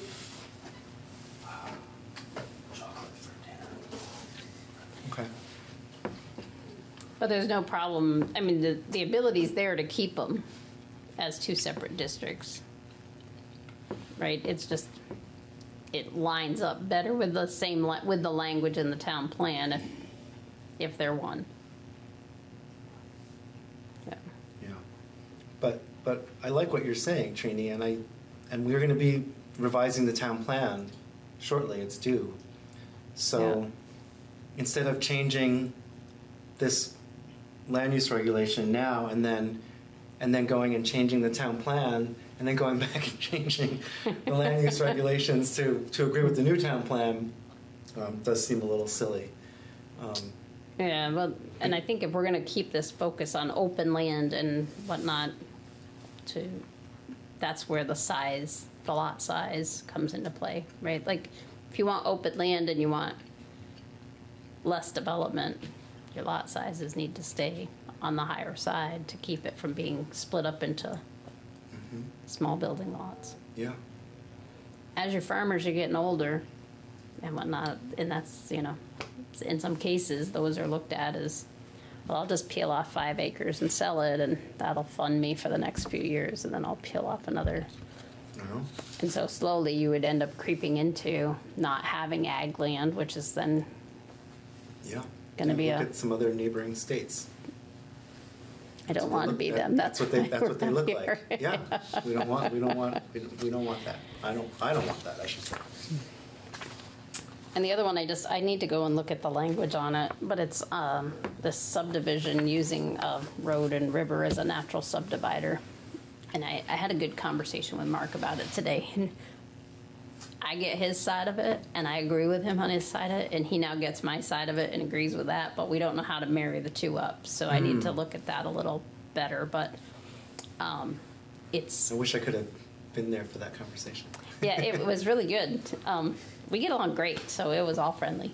Um, Mark it is was wonderful. More of a okay, so you know, and I get his part. Like, if you if you own a parcel and you have three acres on one side of the river, and you want to sell it off to somebody and let them build a house to finance something or to do whatever, right now you can do that, right? Because it's a natural subdivider, and but you also then have this parcel you can't do anything with except maybe sell to an abutter right on the other side of the property.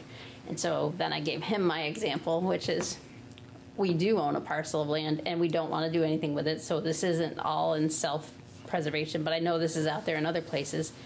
A half acre is on one side of the road, the 17 acres is on the other side of the road.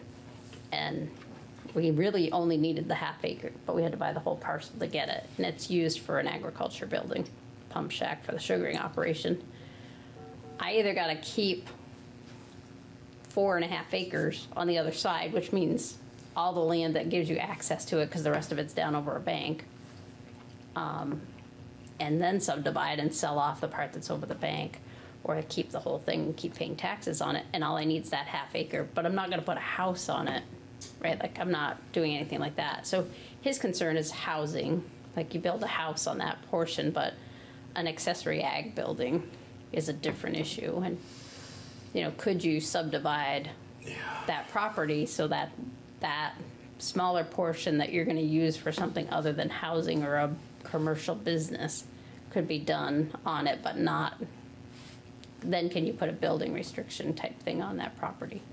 So that was the conversation the two of us had, and we both agreed with each other's position, we just don't know how to word it to, Right, to right. get both. Is- I mean, maybe, maybe there's no way to do it, right? Maybe you just have to pick one and pick the one which is gonna work best, even though it's not gonna work Uh, we great for kicked around a few ideas, so we're gonna play with the language right, on that I'm one just- too, I'm- and see I'm if we can putting it make it work. That'd be great. Yeah. If you can, if you can come up with something which will address both of your concerns, that's the best, that's, that obviously is the ideal. And then we did get into a, I, I know we exchanged an email, we never got to sit down and talk about it, but um, during an Act 250 hearing, a larger parcel, it was over hundred acres. Um, twelve acres was needed for the commercial development, and the river was a natural divider. Route fourteen and the river were two dividers, and we didn't want to give them jurisdiction over the rest of the property. So we argued that that was a natural subdivider, and they shouldn't have jurisdiction over the rest of the land, and we ended up winning because there was nothing in the town zoning rules that said you couldn't use the road or the river as a subdivider. So, like, that's an unintended consequence that this would cause for the next person that might try to do that. And when you look at the properties down through, we got a lot of properties that follow the river that might be able to benefit from that. So, you know, it was just more of a, Interesting.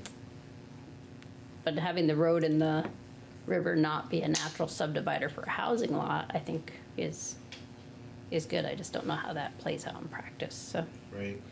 And we only had that discussion today, so in fairness, we haven't had much time to do the rest of it, but that's just something that, that I think we gotta clarify a little bit in there. Okay. Those are my three. Anybody else have any? Did you read them, Tom? I, I, yeah, yeah. It's Pretty much, as Larry said, like, you know, ninety-five percent of it's mandated. Right, so, Yeah. It's either mandated or it's, just makes sense and it's not Yeah, contentious. And there's these few things which Yeah. are more significant. Do you want to try to resolve them all in one set, or do we want to try to do, peel off the ones for which there's l- limited choices and or broad agreement, and move those ahead? You're not sure Well, I yet? think the ones that are, are mandated, we ought to just push forward. And we don't have any say in those. It, like, they're. Right, we just need they to, are con- what we they just need are. to conform the statute. Yeah. It's just really very simple. Yep. I think it would be good though for us to, to look at what the impact of that is. Mm. Cause at some point here, we're gonna be asked to start putting together kind of all these changes that we have to make, what the impacts are. And, and this is a smaller one than some of them, but it is one, so like, some of these changes where we're taking a, a single home now and making it a duplex, we're not gonna get any grand list value out of that. But we're gonna add people, and I'm not saying adding people to town isn't a good thing, but it increases the cost of the public services. You know, whether it's additional rec program, or it's kids in the school, or it's whatever, and they're all good things, but there's an expense to them, like, and we keep getting these hand-me-downs that seem good and they're great public policy, but there's an expense to them, and we don't get any flexibility from the state level on ways to raise money to pay for some of this stuff. And I don't know what the answer is. I don't know what the funding source is, but it's just, You know, most, mo- the whole duplex thing is sort of moot because we, our zone, zoning already allows du, single-family oh. homes to be converted to duplexes on, in all the high-density areas already. Like, we've already made that change quite a while ago.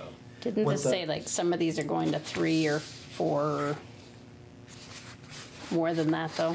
I just was using duplex because it was easy. Yeah, I'm That's just- probably what we'll see. And, and in fact, I don't in fact- imagine we'll see many of these go And to in a lot four. of, pla- and in a lot of places, you can put, already put a lot more units, like, like, m- where, like, my house, the lot size is, is a third of an acre, and, and we have enough space that we could have four, no, th- I think three, we could have three units of housing, where there's one right now.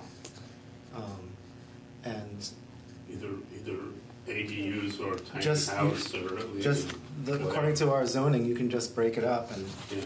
and make it into, like, we could, we could make our, our house, barn conglomeration into a triplex if we wanted to. Right, sure, yeah, According to current Yeah. zoning. So we're, we already Yeah. have a lot of this baked in, and we're not, and I Agreed. don't know that we're really seeing tons of conversions.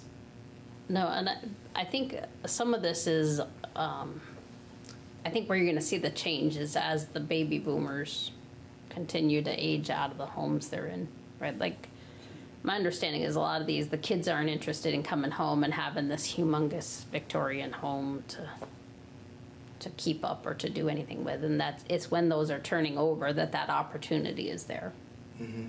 It, to, and they're not all Victorian, I was just like, But but yeah, it seems like a lot of them in there are a lot Randolph of- are. A lot of big houses, yeah, Um, that, And that's where your opportunity to get it into a multi-unit is. Yeah. And for a lot of those places, it's gonna be the difference between it being a property that's well-maintained and one that's not, because Yep. those places, single-family homes are so expensive to, to keep up. Well, a lot of these were built back when energy efficiency wasn't even thought about But too. some of them are Like, just some of them are yeah, just some of them are just mammoth. huge. Yep. Imagine the parties they had in those houses, though, right? Like, Dang. All right. So where, where are we? So maybe what we'll do is peel off what's already sort of required, what already seems agreeable, and then at least identify the ones that maybe want more conversation, and then start to map out the steps to adopt the ones from the first category. I would, um, I would say, like, I believe the next step for us is, um, to have the hearing on it, correct? Yeah. And so I think, um, the ones that I'm more concerned about moving forward are the ones that I kind of talked about, that five thousand. I, I understand that, but I'd like to just understand how many we're talking about. Like, are we just talking a handful, which is fine, or are we talking a lot? on that, and the, the fifteen foot setback is what's, I'm more concerned with that than I am the five thousand, because I think that's pretty tight for us to have people. Uh, fire safety, we're required to have twenty feet for snow Well, storage. don't we already have ten-foot setbacks in much of the village? This says it's reducing it to fifteen. That might be a mistype on my end. I'm not exactly sure where you are, but if you're in the CDRV, sorry, I'm scrolling. Item eleven, section RVHD. two fourteen. Okay. I don't have the rest of the documents here with me. Um,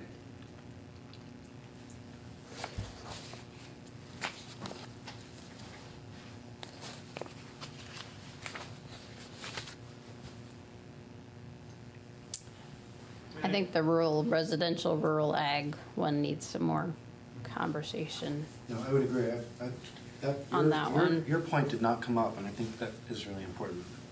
Um, And I would like to still work with Mark on the language around the road river subdivider. You mind if I steal this? It's not mine, so It's have not at yours. it. Well, but it's, it's in your vicinity. I got two more behind me too. Yeah. Okay. Up for grabs. Oh, look at that. All right. If I, in talking with Mark though, if I understood correctly, um, we would have the ability to knock that down so the setback was only five feet. So you could have two structures ten feet apart.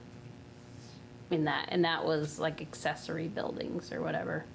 And I don't know, you might be able to do that today, but like your, your snow load is going right onto somebody else's building, that close.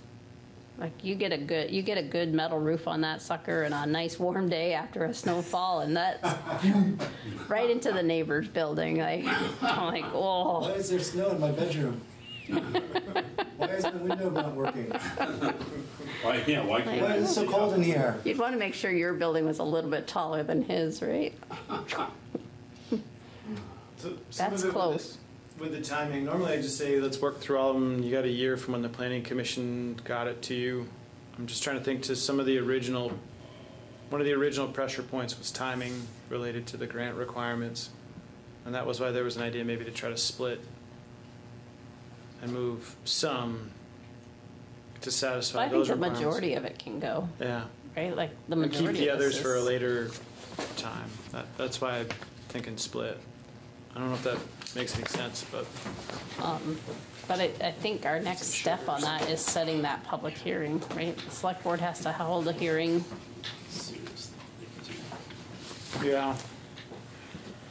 Oh, I've been through this before, but my We've mind got is fried Some of it in today. a prior document Sydney, Yeah. Sydney sent us too in terms of, So I think we, yeah, we just have to. we have to work hold backwards. that. We have to get it out there. It has to be out for a certain number of days, then we have a public hearing on it. There's a comment period, then we decide if there are minimal changes that we want to make. Or major, major we have to start over, but minimal we can make and keep progressing it, right? Yeah. You want us to try to aim for the first viable Thursday in January, since you meet every Thursday for budget reasons, or? Sure. Because depending on timing. Has to be 40. Sydney, how many days does this have to be noticed for the public hearing portion? Is it 45? Or fifteen? Yeah, it's 15. 15 day notice. What's the, is there an adoption period? What, the- am I on a different thing? Is it ordinances that are 45? Yeah, 45? Forty-five days the appeal window on a general ordinance. I think there's a forty-five day thing that comes into play with the DRB as well. Yeah, it- that's definitely. Well, There's two 45. different ones, yeah. Okay. So if we only have to do 15 day notice, we could do this at, but don't pack that meeting with a heavy budget thing in case you get a lot of people. I mean, this could be one of those that nobody shows up at and it mm-hmm. sails right through, but it also could be one of those that gets hung up. Depends if the PUC's involved. Is the cat alive? Is the cat dead? Is the cat even in there? Jeez. Brutal. Okay, is everybody good with that approach? Yeah. Okay. Let's go on. Thank you, Sydney. Thanks, Sydney. Thank you. Um, update on the police services committee. Not it. Yeah. But I think we're, still working through, there was a lot to take in after the forum. I think at the next meeting, there's gonna be some more conversation with, sounds like St. Albans City about some of the, um, mental health and embedded social worker type programming that's come up as sort of, when you think back to the original scope and the question of what's a police service versus, versus what do you maybe not need as a strictly police response and/or is there, are there some things that aren't police response at all? So that's gonna happen on Monday. We've got two more meetings scheduled, one for this coming Monday, another one in January. Um, Keep talking through that, and then obviously the other big question is which of the models to recommend and how to start moving toward final report. Well, we're not gonna have a final report this year. I don't see it happening. Interim Um, report was what was talked about, Yep. Just as an acknowledgement of kind of where we're at, especially So what does this mean for budgeting and for putting the, what, what are we putting before the voters in March, or are we not putting anything? I, I mean, that, that's an open question in terms of, is is it some version of a district budget that builds off what was already passed, or are we pulling the skis downhill and hucking it over a cliff and, um, So- and going with a, like a townwide model would be that sort of, you know, all the way in, Mm-hmm. high cost model. So I, I, I mean, But- that but still what- has to be. what- worked- I'm asking that from a timing Yeah. standpoint, that we have to warn. Town meeting February eighth-ish, Right, fifth to eighth, right. somewhere in there. Yeah. Yeah. So, I think the, the challenge right now, Tom, is there, this, we keep hearing that Clara Martin Center has a budget to pay for an embedded worker. Right. But Clara Martin Center hasn't been willing to bring it up in any of our meetings. And we also don't completely have our head around what that looks like.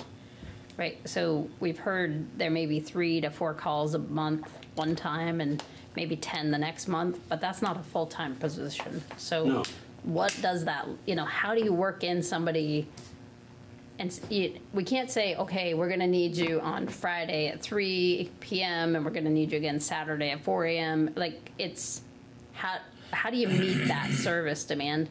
But now there's a, there's been folks coming in talking about, um, like when somebody is an OD, ODs, and they, law enforcement has a role in that, and then they hand them off and the ambulance takes them or you know, whatever. There's nobody doing wraparound services for that person to Right, say, right. you know, let's get you into rehab, let's get you here and there. Is that a town function? Or is that a Clara Martin Center function, or is that a Gifford function, or, so that's the part we just don't have our hands around. Right. But what, why is that the driving topic in terms of whether we're sticking with the district, going to the expanded district, or going town-wide? I mean, it seems like it's one element of it, but for it to be the, it It's sounds a- like it's a core discussion right now, and I don't quite understand why Well, that's it's, the case. um, well, I think it's a, it's one topic. It's not the only Right. one out there. It's one of the pieces we just don't have our head around as far as what that service looks like and how it's delivered and who does it and where it is. Sure. On the other topic, the, I think some of what has to be discussed is, what does that mean? Like, so let's say we decide we're going townwide, we put it out to vote in March, and the voters say yay or nay. If they say yay, we're now the, the main point of contact for police services in the entire town. We don't have the law enforcement capacity to do that. Right, so is it a phased approach? Do we, you know, do we vote? Do we vote to, um, expand the district some in year one? And then some in year two and whatnot to build up? There's not enough personnel, there's not enough equipment, and as soon as we say we're it, we're it, we're it. Like VSP is no longer the primary responder to the rest of the town like they are today. So we don't think we can do that. We can't. We can't provide the service. We can't. But aren't- we aren't voted in al- March. Aren't we already in a situation where VSP is not providing this, the service because they no, don't they're have the still staff? out there. They're they're responding. To, their list is quite. If you get the stats every month. Like there's a, a pretty long list of what they're doing. And they are the primary responder. Out our way, they're the primary responder. They're showing Right now, I know that they're that's they're the primary responder, but I was under the impression that they were often not responding to a lot of things because they're like, we can't come to calls like that because we don't have the staff. There's either lag time or they may stack them for Scott in the morning depending on where they're at. We had a couple of examples of that. So it wasn't a situation that demanded an emergency response, but maybe demanded a response of some kind. So they get stacked and then Scott or his crew deal with them sort of at the beginning of the next shift. They show up. and sort of- in the village, in the district. they Yeah, in do. the district. I'm talking And that- But out our way, like Outside the district. yeah, you got a neighbor that's being a pain. They'll they'll show up. It may not be today, Right. but if you got an active shooter No, no, no. or If- you got something if there's serious, something really they'll horrible be there. going on, they're going to show up anyway, no matter Yep. where it is. Like, Yep. it doesn't matter. Right. so the major items they're there immediately, and some of the others they may take a half hour, forty five minutes to show up, but they show up. Right? It's it's That wasn't. I mean, that that wasn't what I thought I heard the hmm. officer at the pub- public meeting say. I, thought I he's- thought he said very clearly, we don't have the capacity to address a num, you know, a number of different types of call. Period. They're 40, 40, I think in the, if I read the article right, they've been out, we're talking to Chelsea recently, and they're down 40% of their staff overall in the same place, But so are we. Like, we're fishing in the same pond, as Scott says, for, for officers, right? There's, there's not a large influx. The people coming into law enforcement are not equal to the number of people leaving. And, and that's On an not annual just, basis. I mean, there's been articles in the, in the national media in recent days about this phenomenon. It's not just local No, here. but it- It's, it's a nationwide. Yep. Law enforcement's not exactly a desirable I don't blame career them. in the present Like, I, I don't blame and them. social Like, environment. Plug, your- plug your ears, Scott. It's a perfectly fine, honorable choice, and you should stay with it. For, and you should stay with it forever. Disregard everything you just heard. I didn't mean that personally, sir. No, I, I, I get it. Thanks a lot. No, it's cool. I I see what you did to me. It's all right. so, i- if you guys don't mind, just a little bit, you know, I. I'm sympathizing I- with you. I'm not. yeah. Uh, I'm hearing your discussion in regards to VSP. You know, I'm sitting over here in my office and I'm looking at the uh, CAD screen for tonight. You have three troopers that are on tonight. Um, you know, so their response time is minimal at best. Um, I've uh, even like last week, uh, we there was an incident here in Chandler, uh, here in the village, um, where I didn't have any officers on, um, and uh, there was an incident and they didn't show um, at all. Period.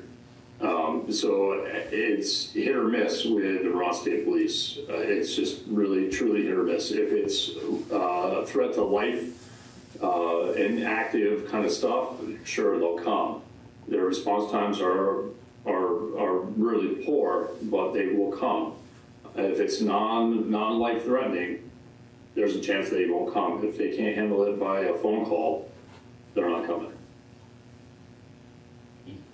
So just kind of, and that's the way it's been kind of working uh, for quite a little while now. It's not every And so call the though. issue at Chandler, was that life threatening? Was it somebody threatening somebody? No, so there's a lot of different opinions. I've gone through and read the cases, uh, or the case that was punched for both myself and VSP. Um, and there's different opinions of what was being reported to what was being talked about inside Chandler.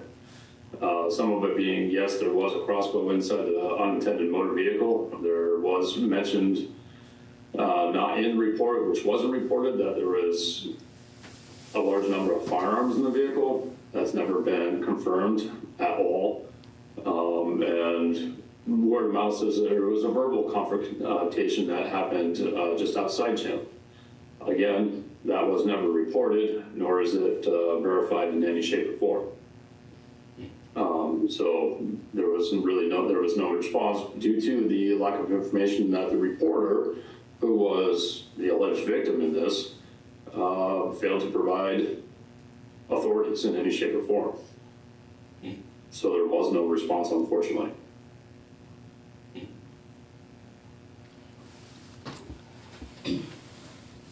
But if, uh, going to the other side of this, if we go to vote in March and we say we're going townwide, then where, where are you at?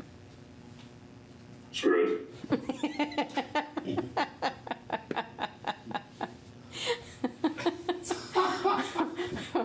We got the picture. But more, but more or less screwed than now, but I mean, that's More. These degrees of being screwed. Well, it's more, because you don't have the staff you need to do the area you're responding to today. Right. If if you guys were going to say that I'm going townwide, you know, by March, and I don't have a window to try to bring in officers um, as of like now, um, I'm not going to be able to fulfill the slots, and there's going to be a lot of shifts open. There's going to be a lot of coverage that's not covered. Um, it would be pretty de- detrimental all the way around.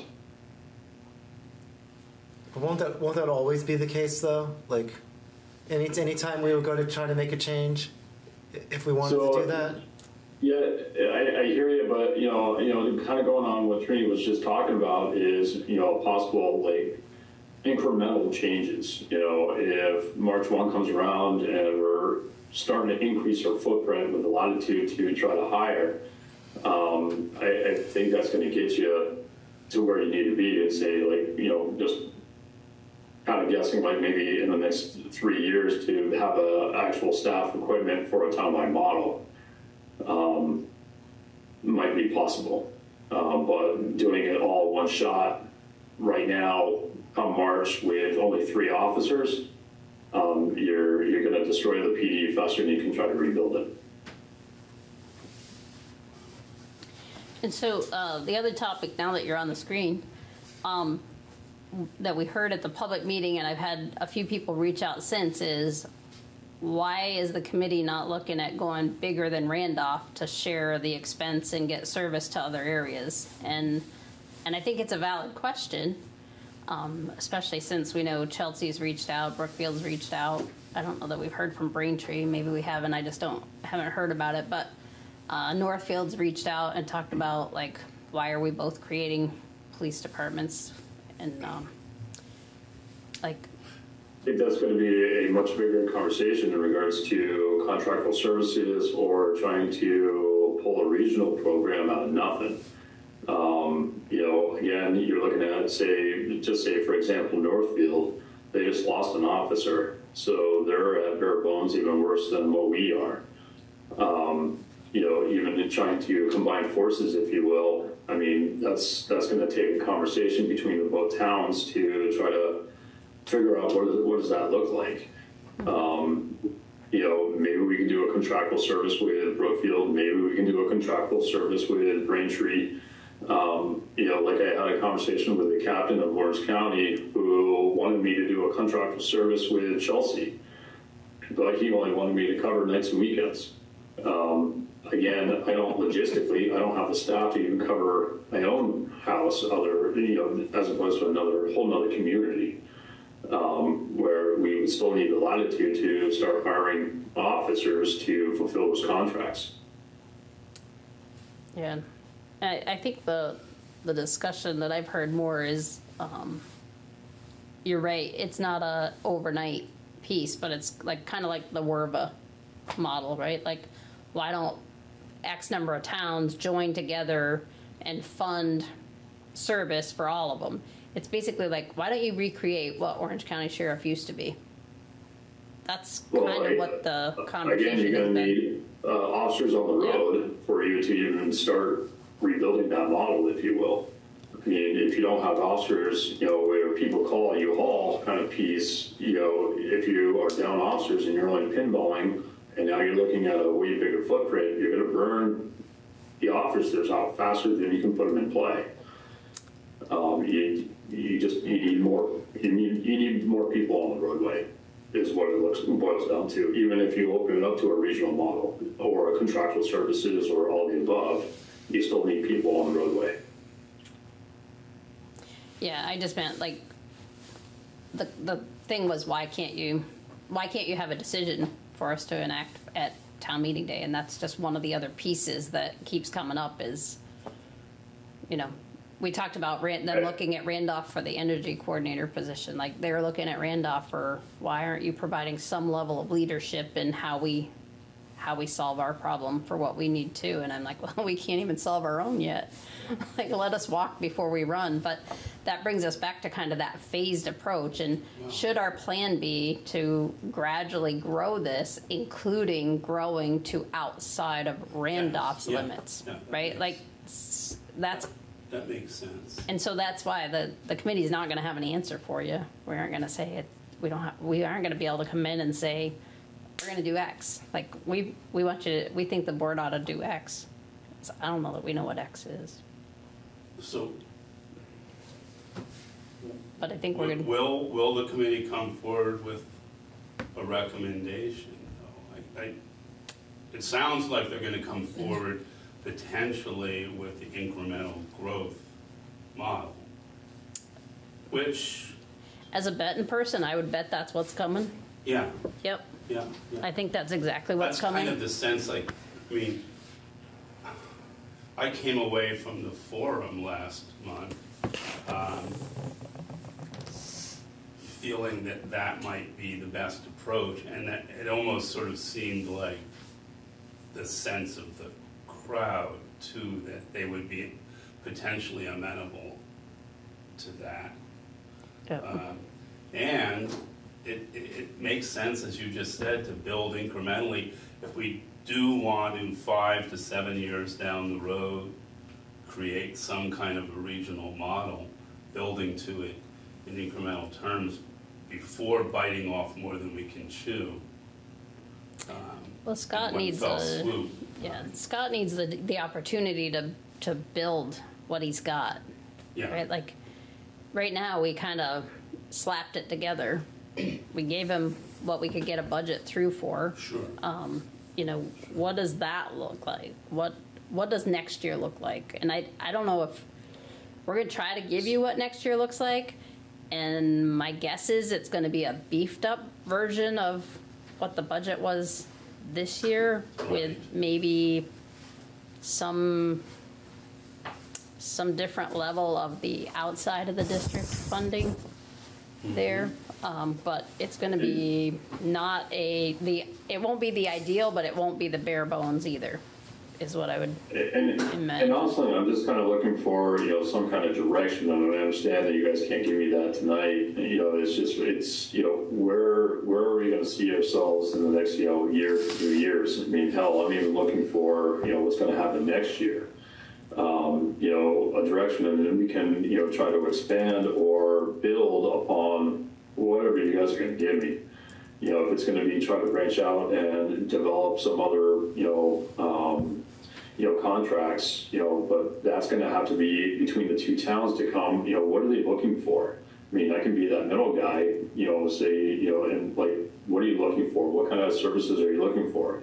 If it's an on-call basis of, you know, we, we need you at two o'clock in the morning and I have, I don't have an officer on or I have one officer on, that may not be, you know, kind of what we're looking for. I, I it's hard to kind of picture what other communities or, or anything if I can't even fulfill what's going on here.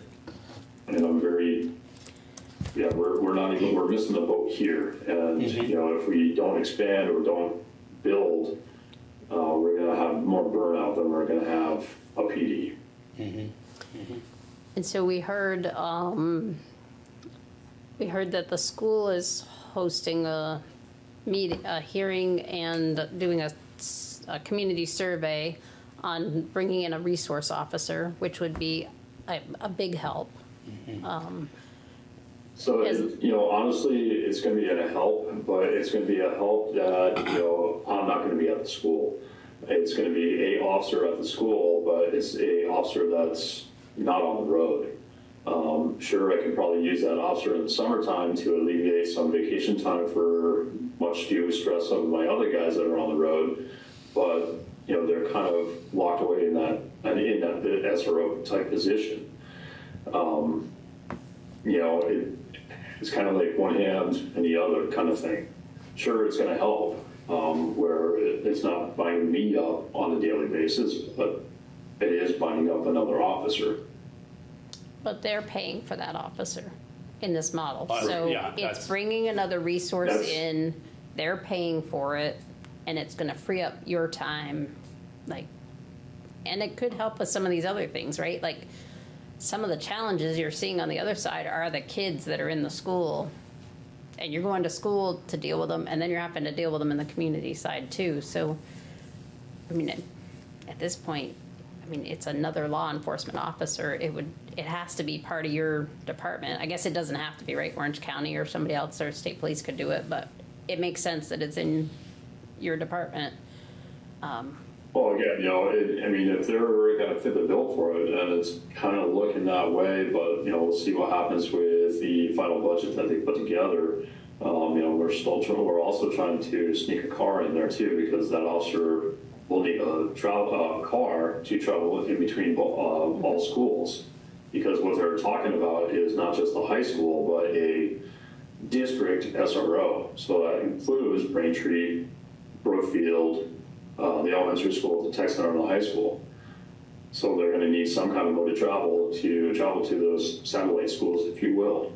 Um, and we're trying to work that in as well. I've had a couple of conversations, preliminary conversations with the superintendent, but you know they really haven't got off the ground just yet. yeah, but it's a good, it's a positive. Like the fact It- that it's they're a step in the right, considering it it's a step on growth, and it's a step in the right direction. You know, I'm just missing the other parts and pieces of putting cops on the road. Yep. So that's kind of what we're grappling with. Mm-hmm. And then develop a recommendation of what to do. Mm-hmm. Um, And we'll find out Monday, like, where we're at with that part of it, but, So just so you know, too, I've had a few other conversations in regards to the social worker aspect. So more often than not, the social worker is not a substitute for a law enforcement officer. It's more of a addition to that officer. So if the, say for example, the social worker, uh, you know, kind of goes out and deals with the aftermath of a overdose, like we have heard in the past, an officer is still kind of tied to that social worker. It's not a, here you go, forget you, you know, I'm gonna leave you at this person's residence or in the hospital for hours and then you're still tying up that officer. So it's not a 100% savings, you're still tying up those resources where we were additionally kind of thought that it may alleviate, but through the other agencies I've spoken to with these social workers that were implemented in their offices, that's not quite the deal. So it's it's it, we have to start you know we're kind of really kind of view it as it's not a supplement, it's a additive, and it doesn't really take away of the numbers that we're going to need to do a townwide model or whatever the model may be suggested. So, if I'm hearing you correctly, you haven't actually gotten clarity from Clara Martin that they would supplement the cost? of No. the- And as a matter of fact, they've been Because Kristen keeps bringing it up as a, and that they get money from the state to pay for it Yeah. and whatnot, but, uh, there's a group that meets on a regular basis that Scott's part of and Clara Martin Center's part of to talk about some of the issues and whatever. yeah? And, you know, it just seems like to me, if you had the money to hire this person and you felt it was that important, where were you a year ago when we stood this police department up? You should have been at the table saying, hey, I got money to hire somebody. Let's Right. get you a worker to help you. Yeah. But we still don't even have them saying we have the money to help pay for it or that, you know, we'll help you find somebody or like there's that's the part we're going to try to drill into on Monday and Mhm. better understand from St. Albans like how does it work where you are like what are and we keep hearing from Kristen like there's savings there's huge savings in these communities that have these folks embedded in their department like where are they what are, what are those savings Is anybody from Clara Martin at the table at the police services? They meeting? came once, right? They came and gave us that one. It seems like it's We don't use the services very much. You know, it seems like it's a straightforward, do you do this or don't you? I mean, I would imagine St. Albans is probably contracting with someone, or do they have a, Yeah, I think s- I think it's uh, but it's Franklin- they were the Franklin original. County Were they Social the original one, Scott? That did Uh, I it. think so, yeah. But Which is a why lot, if Kristen you brought look at them a forward. lot of the partnerships uh, throughout the state, um, they're all associated with a social work or a mental health uh, establishment. You know, so like the, for example, the Royalton Barracks, who has their slot still vacant and it's been vacant for a year plus, is slated for the Clara Martin Center. And they haven't even put, you know, been able to find a correct fit for that barracks for a social worker or, med- or embedded mental health worker. But that person we could use too. Like, it's not a. You can't go out and hire somebody and give them full time work because you may have three calls this month, ten calls next month. It's it's. Uh, Right. It, it, it's not a cookie cutter thing. We're predicted to have five mental health calls, uh, you know, a month. It's it's sporadic at best, all the way around. yeah. We might just be too small We eh, we are too small, you know, and you know just the numbers that we have put up uh, since we've been in existence, because we're very diligent in tracking, you know, what's a mental health call, what's not, and the numbers are very very small. Um, you know, does it support a full time person? No, it doesn't. Uh, it barely supports a part time position. Um, but in a additive, and that's just calls here in the village, and an additive, if you look at a bigger footprint, i.e. a town model or a regional model for a tri-town or what have you, that may increase, but we're not there. We don't have that data set. We're just not there. And then one of the things we've been talking about is you contract with somebody, right? Or you share an employee, Mhm. right, for that service.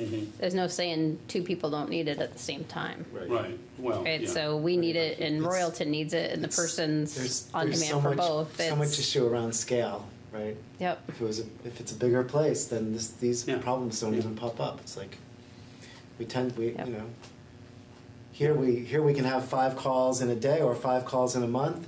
If you're in a much bigger place, you're going to have 100 calls plus or minus five every day, no matter what. You Yeah. can staff for Yeah. it. Yeah. But when you're talking about a social worker and wraparound services, I mean, it's not just the call. The call becomes a caseload of providing services to hopefully prevent, like correct and prevent and get someone on a better like path, right? So I think that's it's. We're not talking like So you- you're right, I'm not talking like, you know, it's a five minute piece, it could be hours on end or days on end for follow-up uh, with that client. Um, But, you know, you're also gonna try to, you know, kind of provide those wraparound services for them to have that full-time clinician as opposed to a embedded worker here. It's, Well, that in worker wouldn't be that clinician. It, it would be how can I bridge the gap to that clinician so that client can get the services. Does that make sense? Mm-hmm. They're helping them make that connection to what they need. Right. Which is part of the reason to try to marry up with the Clara Martin Center, right? Because they Right. have the folks there that can provide those services. Well, and, and I think that's going to be your start point is to have that kind of contract with, you know, so, you know, so you could say, well, maybe we need them for like 20 hours a week or what have you to start, and but their other duties are within Clara Martin Center, and then maybe they could even be an on-call. I, you know, I, I don't know, but you know, for our purposes, you know, they they respond to the call, they help out with the call, and then they're done. You know, as when they can pass off to the uh, clinician that can provide that that care. You know, it's it's that gap, it's that bridge gap, where law enforcement's failing at it because we don't have the context where maybe this other person embedded in the Clara Martin Center or whatever has better context than what we have Yeah. as a law enforcement officer. Yeah. You've kind of gone beyond the, where you need that licensed law enforcement person Mhm. into this other area. And Mhm. it's how do you get to that point where you hand it off? Oh, it's been a, it's been an educational committee. Oh, yeah, yeah, absolutely, absolutely. And, you know, police departments all over the place are grappling with this issue, Yeah. whether it's in a metropolitan area or, you know, Burlington has certainly wrestled with it the last several years. Uh, um, Yep. And again, the smaller you are, the harder it is. Yeah. You can't afford it. Well, Right? no. It- Because it- these issues are on scale. Like, Yep. we just there's certain things that you need to do, and it's harder to do if you don't have enough people. And to on their staff. defense, I mean, Clara Martin is, you know, kind of dealing with the same, I mean, they're, they're trying to provide mental health services Yeah, to oh, a largely rural uh, area. no, it's- and, it's hard for you them. know, I- It's not, um, It's and we have and there's same issues at the hospital where operating a small hospital with small units is really hard to staff. Absolutely. Yep. Absolutely. And it's Yep. just because they're, they're they're so small. The only positive there is they have the, um, like the traveling nurses and the traveling specialists and whatnot. They can bring in, they're expensive and Right, but- whatnot, but Scott doesn't have that. Right, but it, but it's but it's this it's this idea that you can have a lot of time where there's very little going on, and then a lot, and then suddenly have way too much going on. Yep. And it's really unpredictable, and it jumps around a lot because you're so small. Um, if you're bigger, your your overall level of service compared to the size of your staff is much more consistent yeah, It's, rel- it's, it's relatively like flatlined or, you know, sh- yeah, yeah. you where- know, you you you know, here in in Randolph, like you p- take a particular type, like you, Scott could see twice as many calls one day than the next day. If you're in a big metropolitan area, it's not like you're going to go from ten thousand calls a day and all of a sudden one day you get twenty thousand calls. That's just statistically impossible. They might go to twenty thousand and five hundred calls, but they're never going to have these wild swings that we do, just because we're so small. It's just it's really tough. Yep. That's part of what the challenge is, right? Like so we have to pay in a sense we want we really we what we really need to do in some sense is have a lot more staff per capita um, than a bigger place and so it gets ex- you know if you want to be able to handle the the most of the calls most of the time, and that's so it gets very expensive very quickly.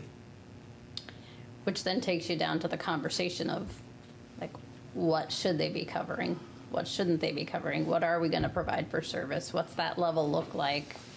And then that conversation goes all over the place. Yeah, no, that's right. That's right. right? Like if if it's going to be able to be afforded and you're going to get it through, it's going to be voted on and approved. What does that look like? What, and what are we actually promising Yep. that voters And are getting for what they're, what are they going to get for paying their taxes? yep, Yeah. yep. And well, you know, kind of what we heard, the business community would like 24/7 and plenty of staff. Sure. So when they call, somebody comes, especially up at the barn, they were the ones that were like, we could use you six, eight times a day. So, you know, how do you balance that? Right? And the rest of them are, you know, we heard from people like, I have never called the police. Right. I never It's called like- the police. I have. But I'm just saying, like, I live in the police Right. district. They're at Yeah. my disposal, supposedly, but I, you know, Yep. my neighborhood's extraordinarily safe. Yeah. We almost never have problems. Mine wasn't for myself, it was for. Yeah, I I'm just saying, like, that's the- just, that's just the common experience, you know? I have the neighbor. You have the neighbor, sure. Other than a portion of my neighborhood collapsing into the river, um, I Yours have- is getting smaller. So. It's not getting anywhere near me. All thank right, well, still. I don't think we're gonna solve this here, but that's what we're. I- grappling with and why there's no Yeah. clear It's, um, cut. It's, it's good to get this update as to what you've been wrestling with and have some more. But the goal is still to come forward with something with something. for the next fiscal year. Well, we're gonna have to. budget. There has to be You gotta come forward with a Yep. budget, so, and, and, and if we're expanding the district, you know, that's Yep. gonna be Um, on the ballot too. Now, I've had people express a concern to me about the idea of, of the incremental expansion, um, question of how many, um, residential houses there are versus commercial businesses in the expanded area going down to the Bethel border and up to, um, and, and how that might impact a vote. I, I- don't know whether that's a legitimate concern or not. Um, Well, it is. Yeah. Right, we know that the southern expansion was voted on once and the residents overwhelmingly turned it down. mhm. You know, I, and I think that's a, a valid pi- piece of it, right? The the business community is clamoring for it. They want to see it. They want to see the area expanded. They want the service. The residential side isn't quite as vocal Mhm. in some of these areas, Sure. and and Sure, then the residents uh, aren't calling the police. Right. And, you know, at the barn, they were telling us they've hired their own security now. They'd like to get rid of that and have the police department go town-wide. And, like, well, the stories they were telling us, you probably ought to have both. You know, like, don't get rid of your security because of that, because they got some crazy stuff going up there. But there also probably ought to be some communication with the state police about what's coming off the interstate and whatever Well, yeah, there. But, that's, you know, I think that's a bigger issue, but I just, you know, and the whole, co- the conversation about the, the, what those lines look like, right? The Lister's office asked us not to draw straight lines. Sure. Well, So- does, 'cause so it's does it easier. include all the side roads off 66? We or- took, and we went up sixty-six, and we took every parcel that touched sixty-six, and we included the whole parcel. Oh, okay. And so your line is like this. And Right. then what we heard was, okay, so now it's the whole parcel, and so it's easier for the Lister's office, right, to, Right. to figure that out. But now you've created a nightmare for dispatchers. So if you look, some of those parcels that touch sixty-six are actually over on Sunset. So Mm-hmm. some of the residents on Sunset are gonna have police service, some of them aren't. Yeah, So that's it's- fun. Yeah. So every time you figure one piece out, it changes. what something is else. the current state of the uh, uh, sheriff's department? Is it still pretty? It's hard. It's, Yeah, it's just, okay. it just got worse, actually. Yeah, Because their, their, their budget for next year just got cut pretty dramatically. by the, by the uh, By the side side judges? judges, yeah. So they're, they're, if, they're an even worse. Yeah, so they're, they're a hu- a hurting unit, and if they survive the winter, I will actually be surprised. Wow.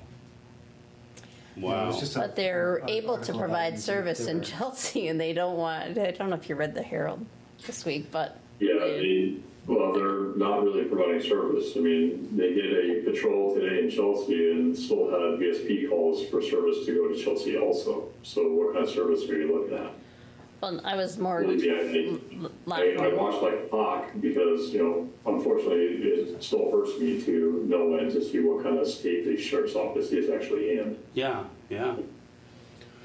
But the comment from, in the paper that was quoted, the Windsor sheriff was brought into Chelsea to talk about whether they would be willing to go, because they come to Tunbridge, whether they would be willing to come up and provide service. And the sheriff's response was, if you take a contract in my county, I'm coming to your county and take a contract. And I thought, with what? Yeah, so I mean, there is conversation. Uh, so Royalton took coverage for Tunbridge, uh, Royalton PD. Um, they do have an active contract with Loretta for X amount of hours a week, and VSP handles uh, the other responses.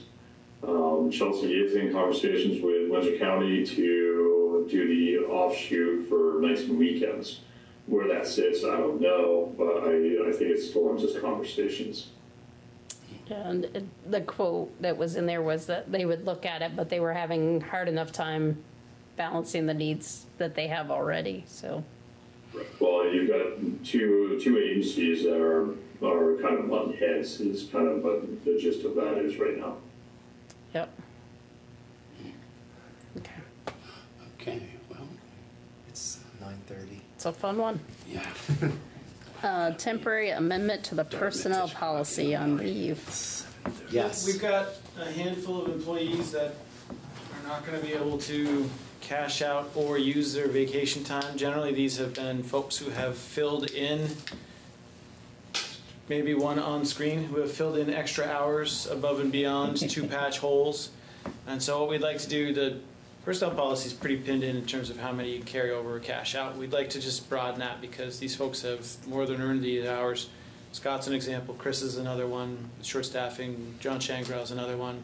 Um, and we have a few other employees that might qualify as well. So we're just looking for some sort of temporary solution so that we can, because otherwise it's forfeiture and that's a really Yeah, no, terrible no, this thing. sounds like a no-brainer. You just, we, we can't, we have to treat these folks. Yeah. They're making a good faith effort to, to do what they're supposed to be doing. We can't hold this against them. That's not okay. They've done what we've asked and more, what we've needed more, so. Absolutely. Yeah. Whatever, whatever, whatever motion you need.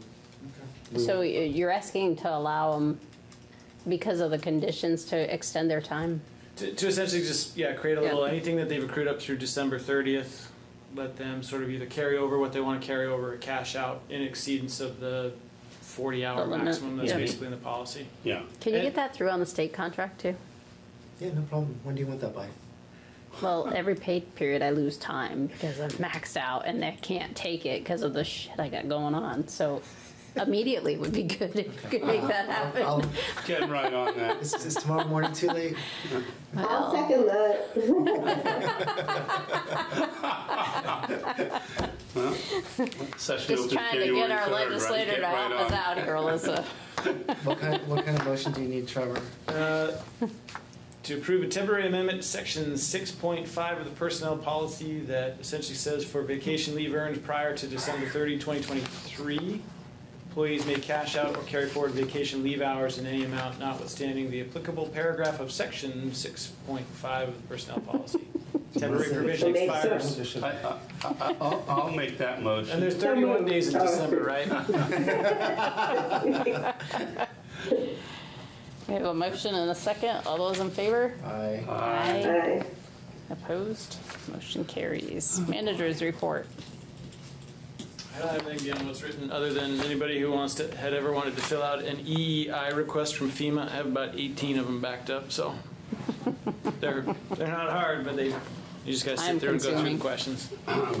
Just, can you give us a quick update um, on, unless it's an executive session issue, on how you're um, doing with recruiting for Kim's position? I could, yeah, it might be a good one, based on where we're at with that process, to kind of hang there, once Okay. we'd be talking about people potentially. Okay. Okay, then the next one is to go into executive session. Do we have to find that we need to? Yeah, just the contract piece that we want to touch base on, even though there's new developments, is a two, two-parter. So we can do it as easy as somebody can move number one and then somebody can move number two? The minutes will reflect that, for sure. I will make a motion that we go into executive session for the purpose of discussing contract issues, the premature disclosure of which could put the town at risk. So your first motion will be the finding that it's necessary, prudent, and the premature, and then the second one will be to enter. Oh, well. So you're doing number one, yeah. Okay, I'll, um, I'll make a motion that we go into executive session as well. That we Is right? find it prudent. We find it prudent We're to go finding it into- necessary first, and then we'll make a motion to go in. This is why I never do this.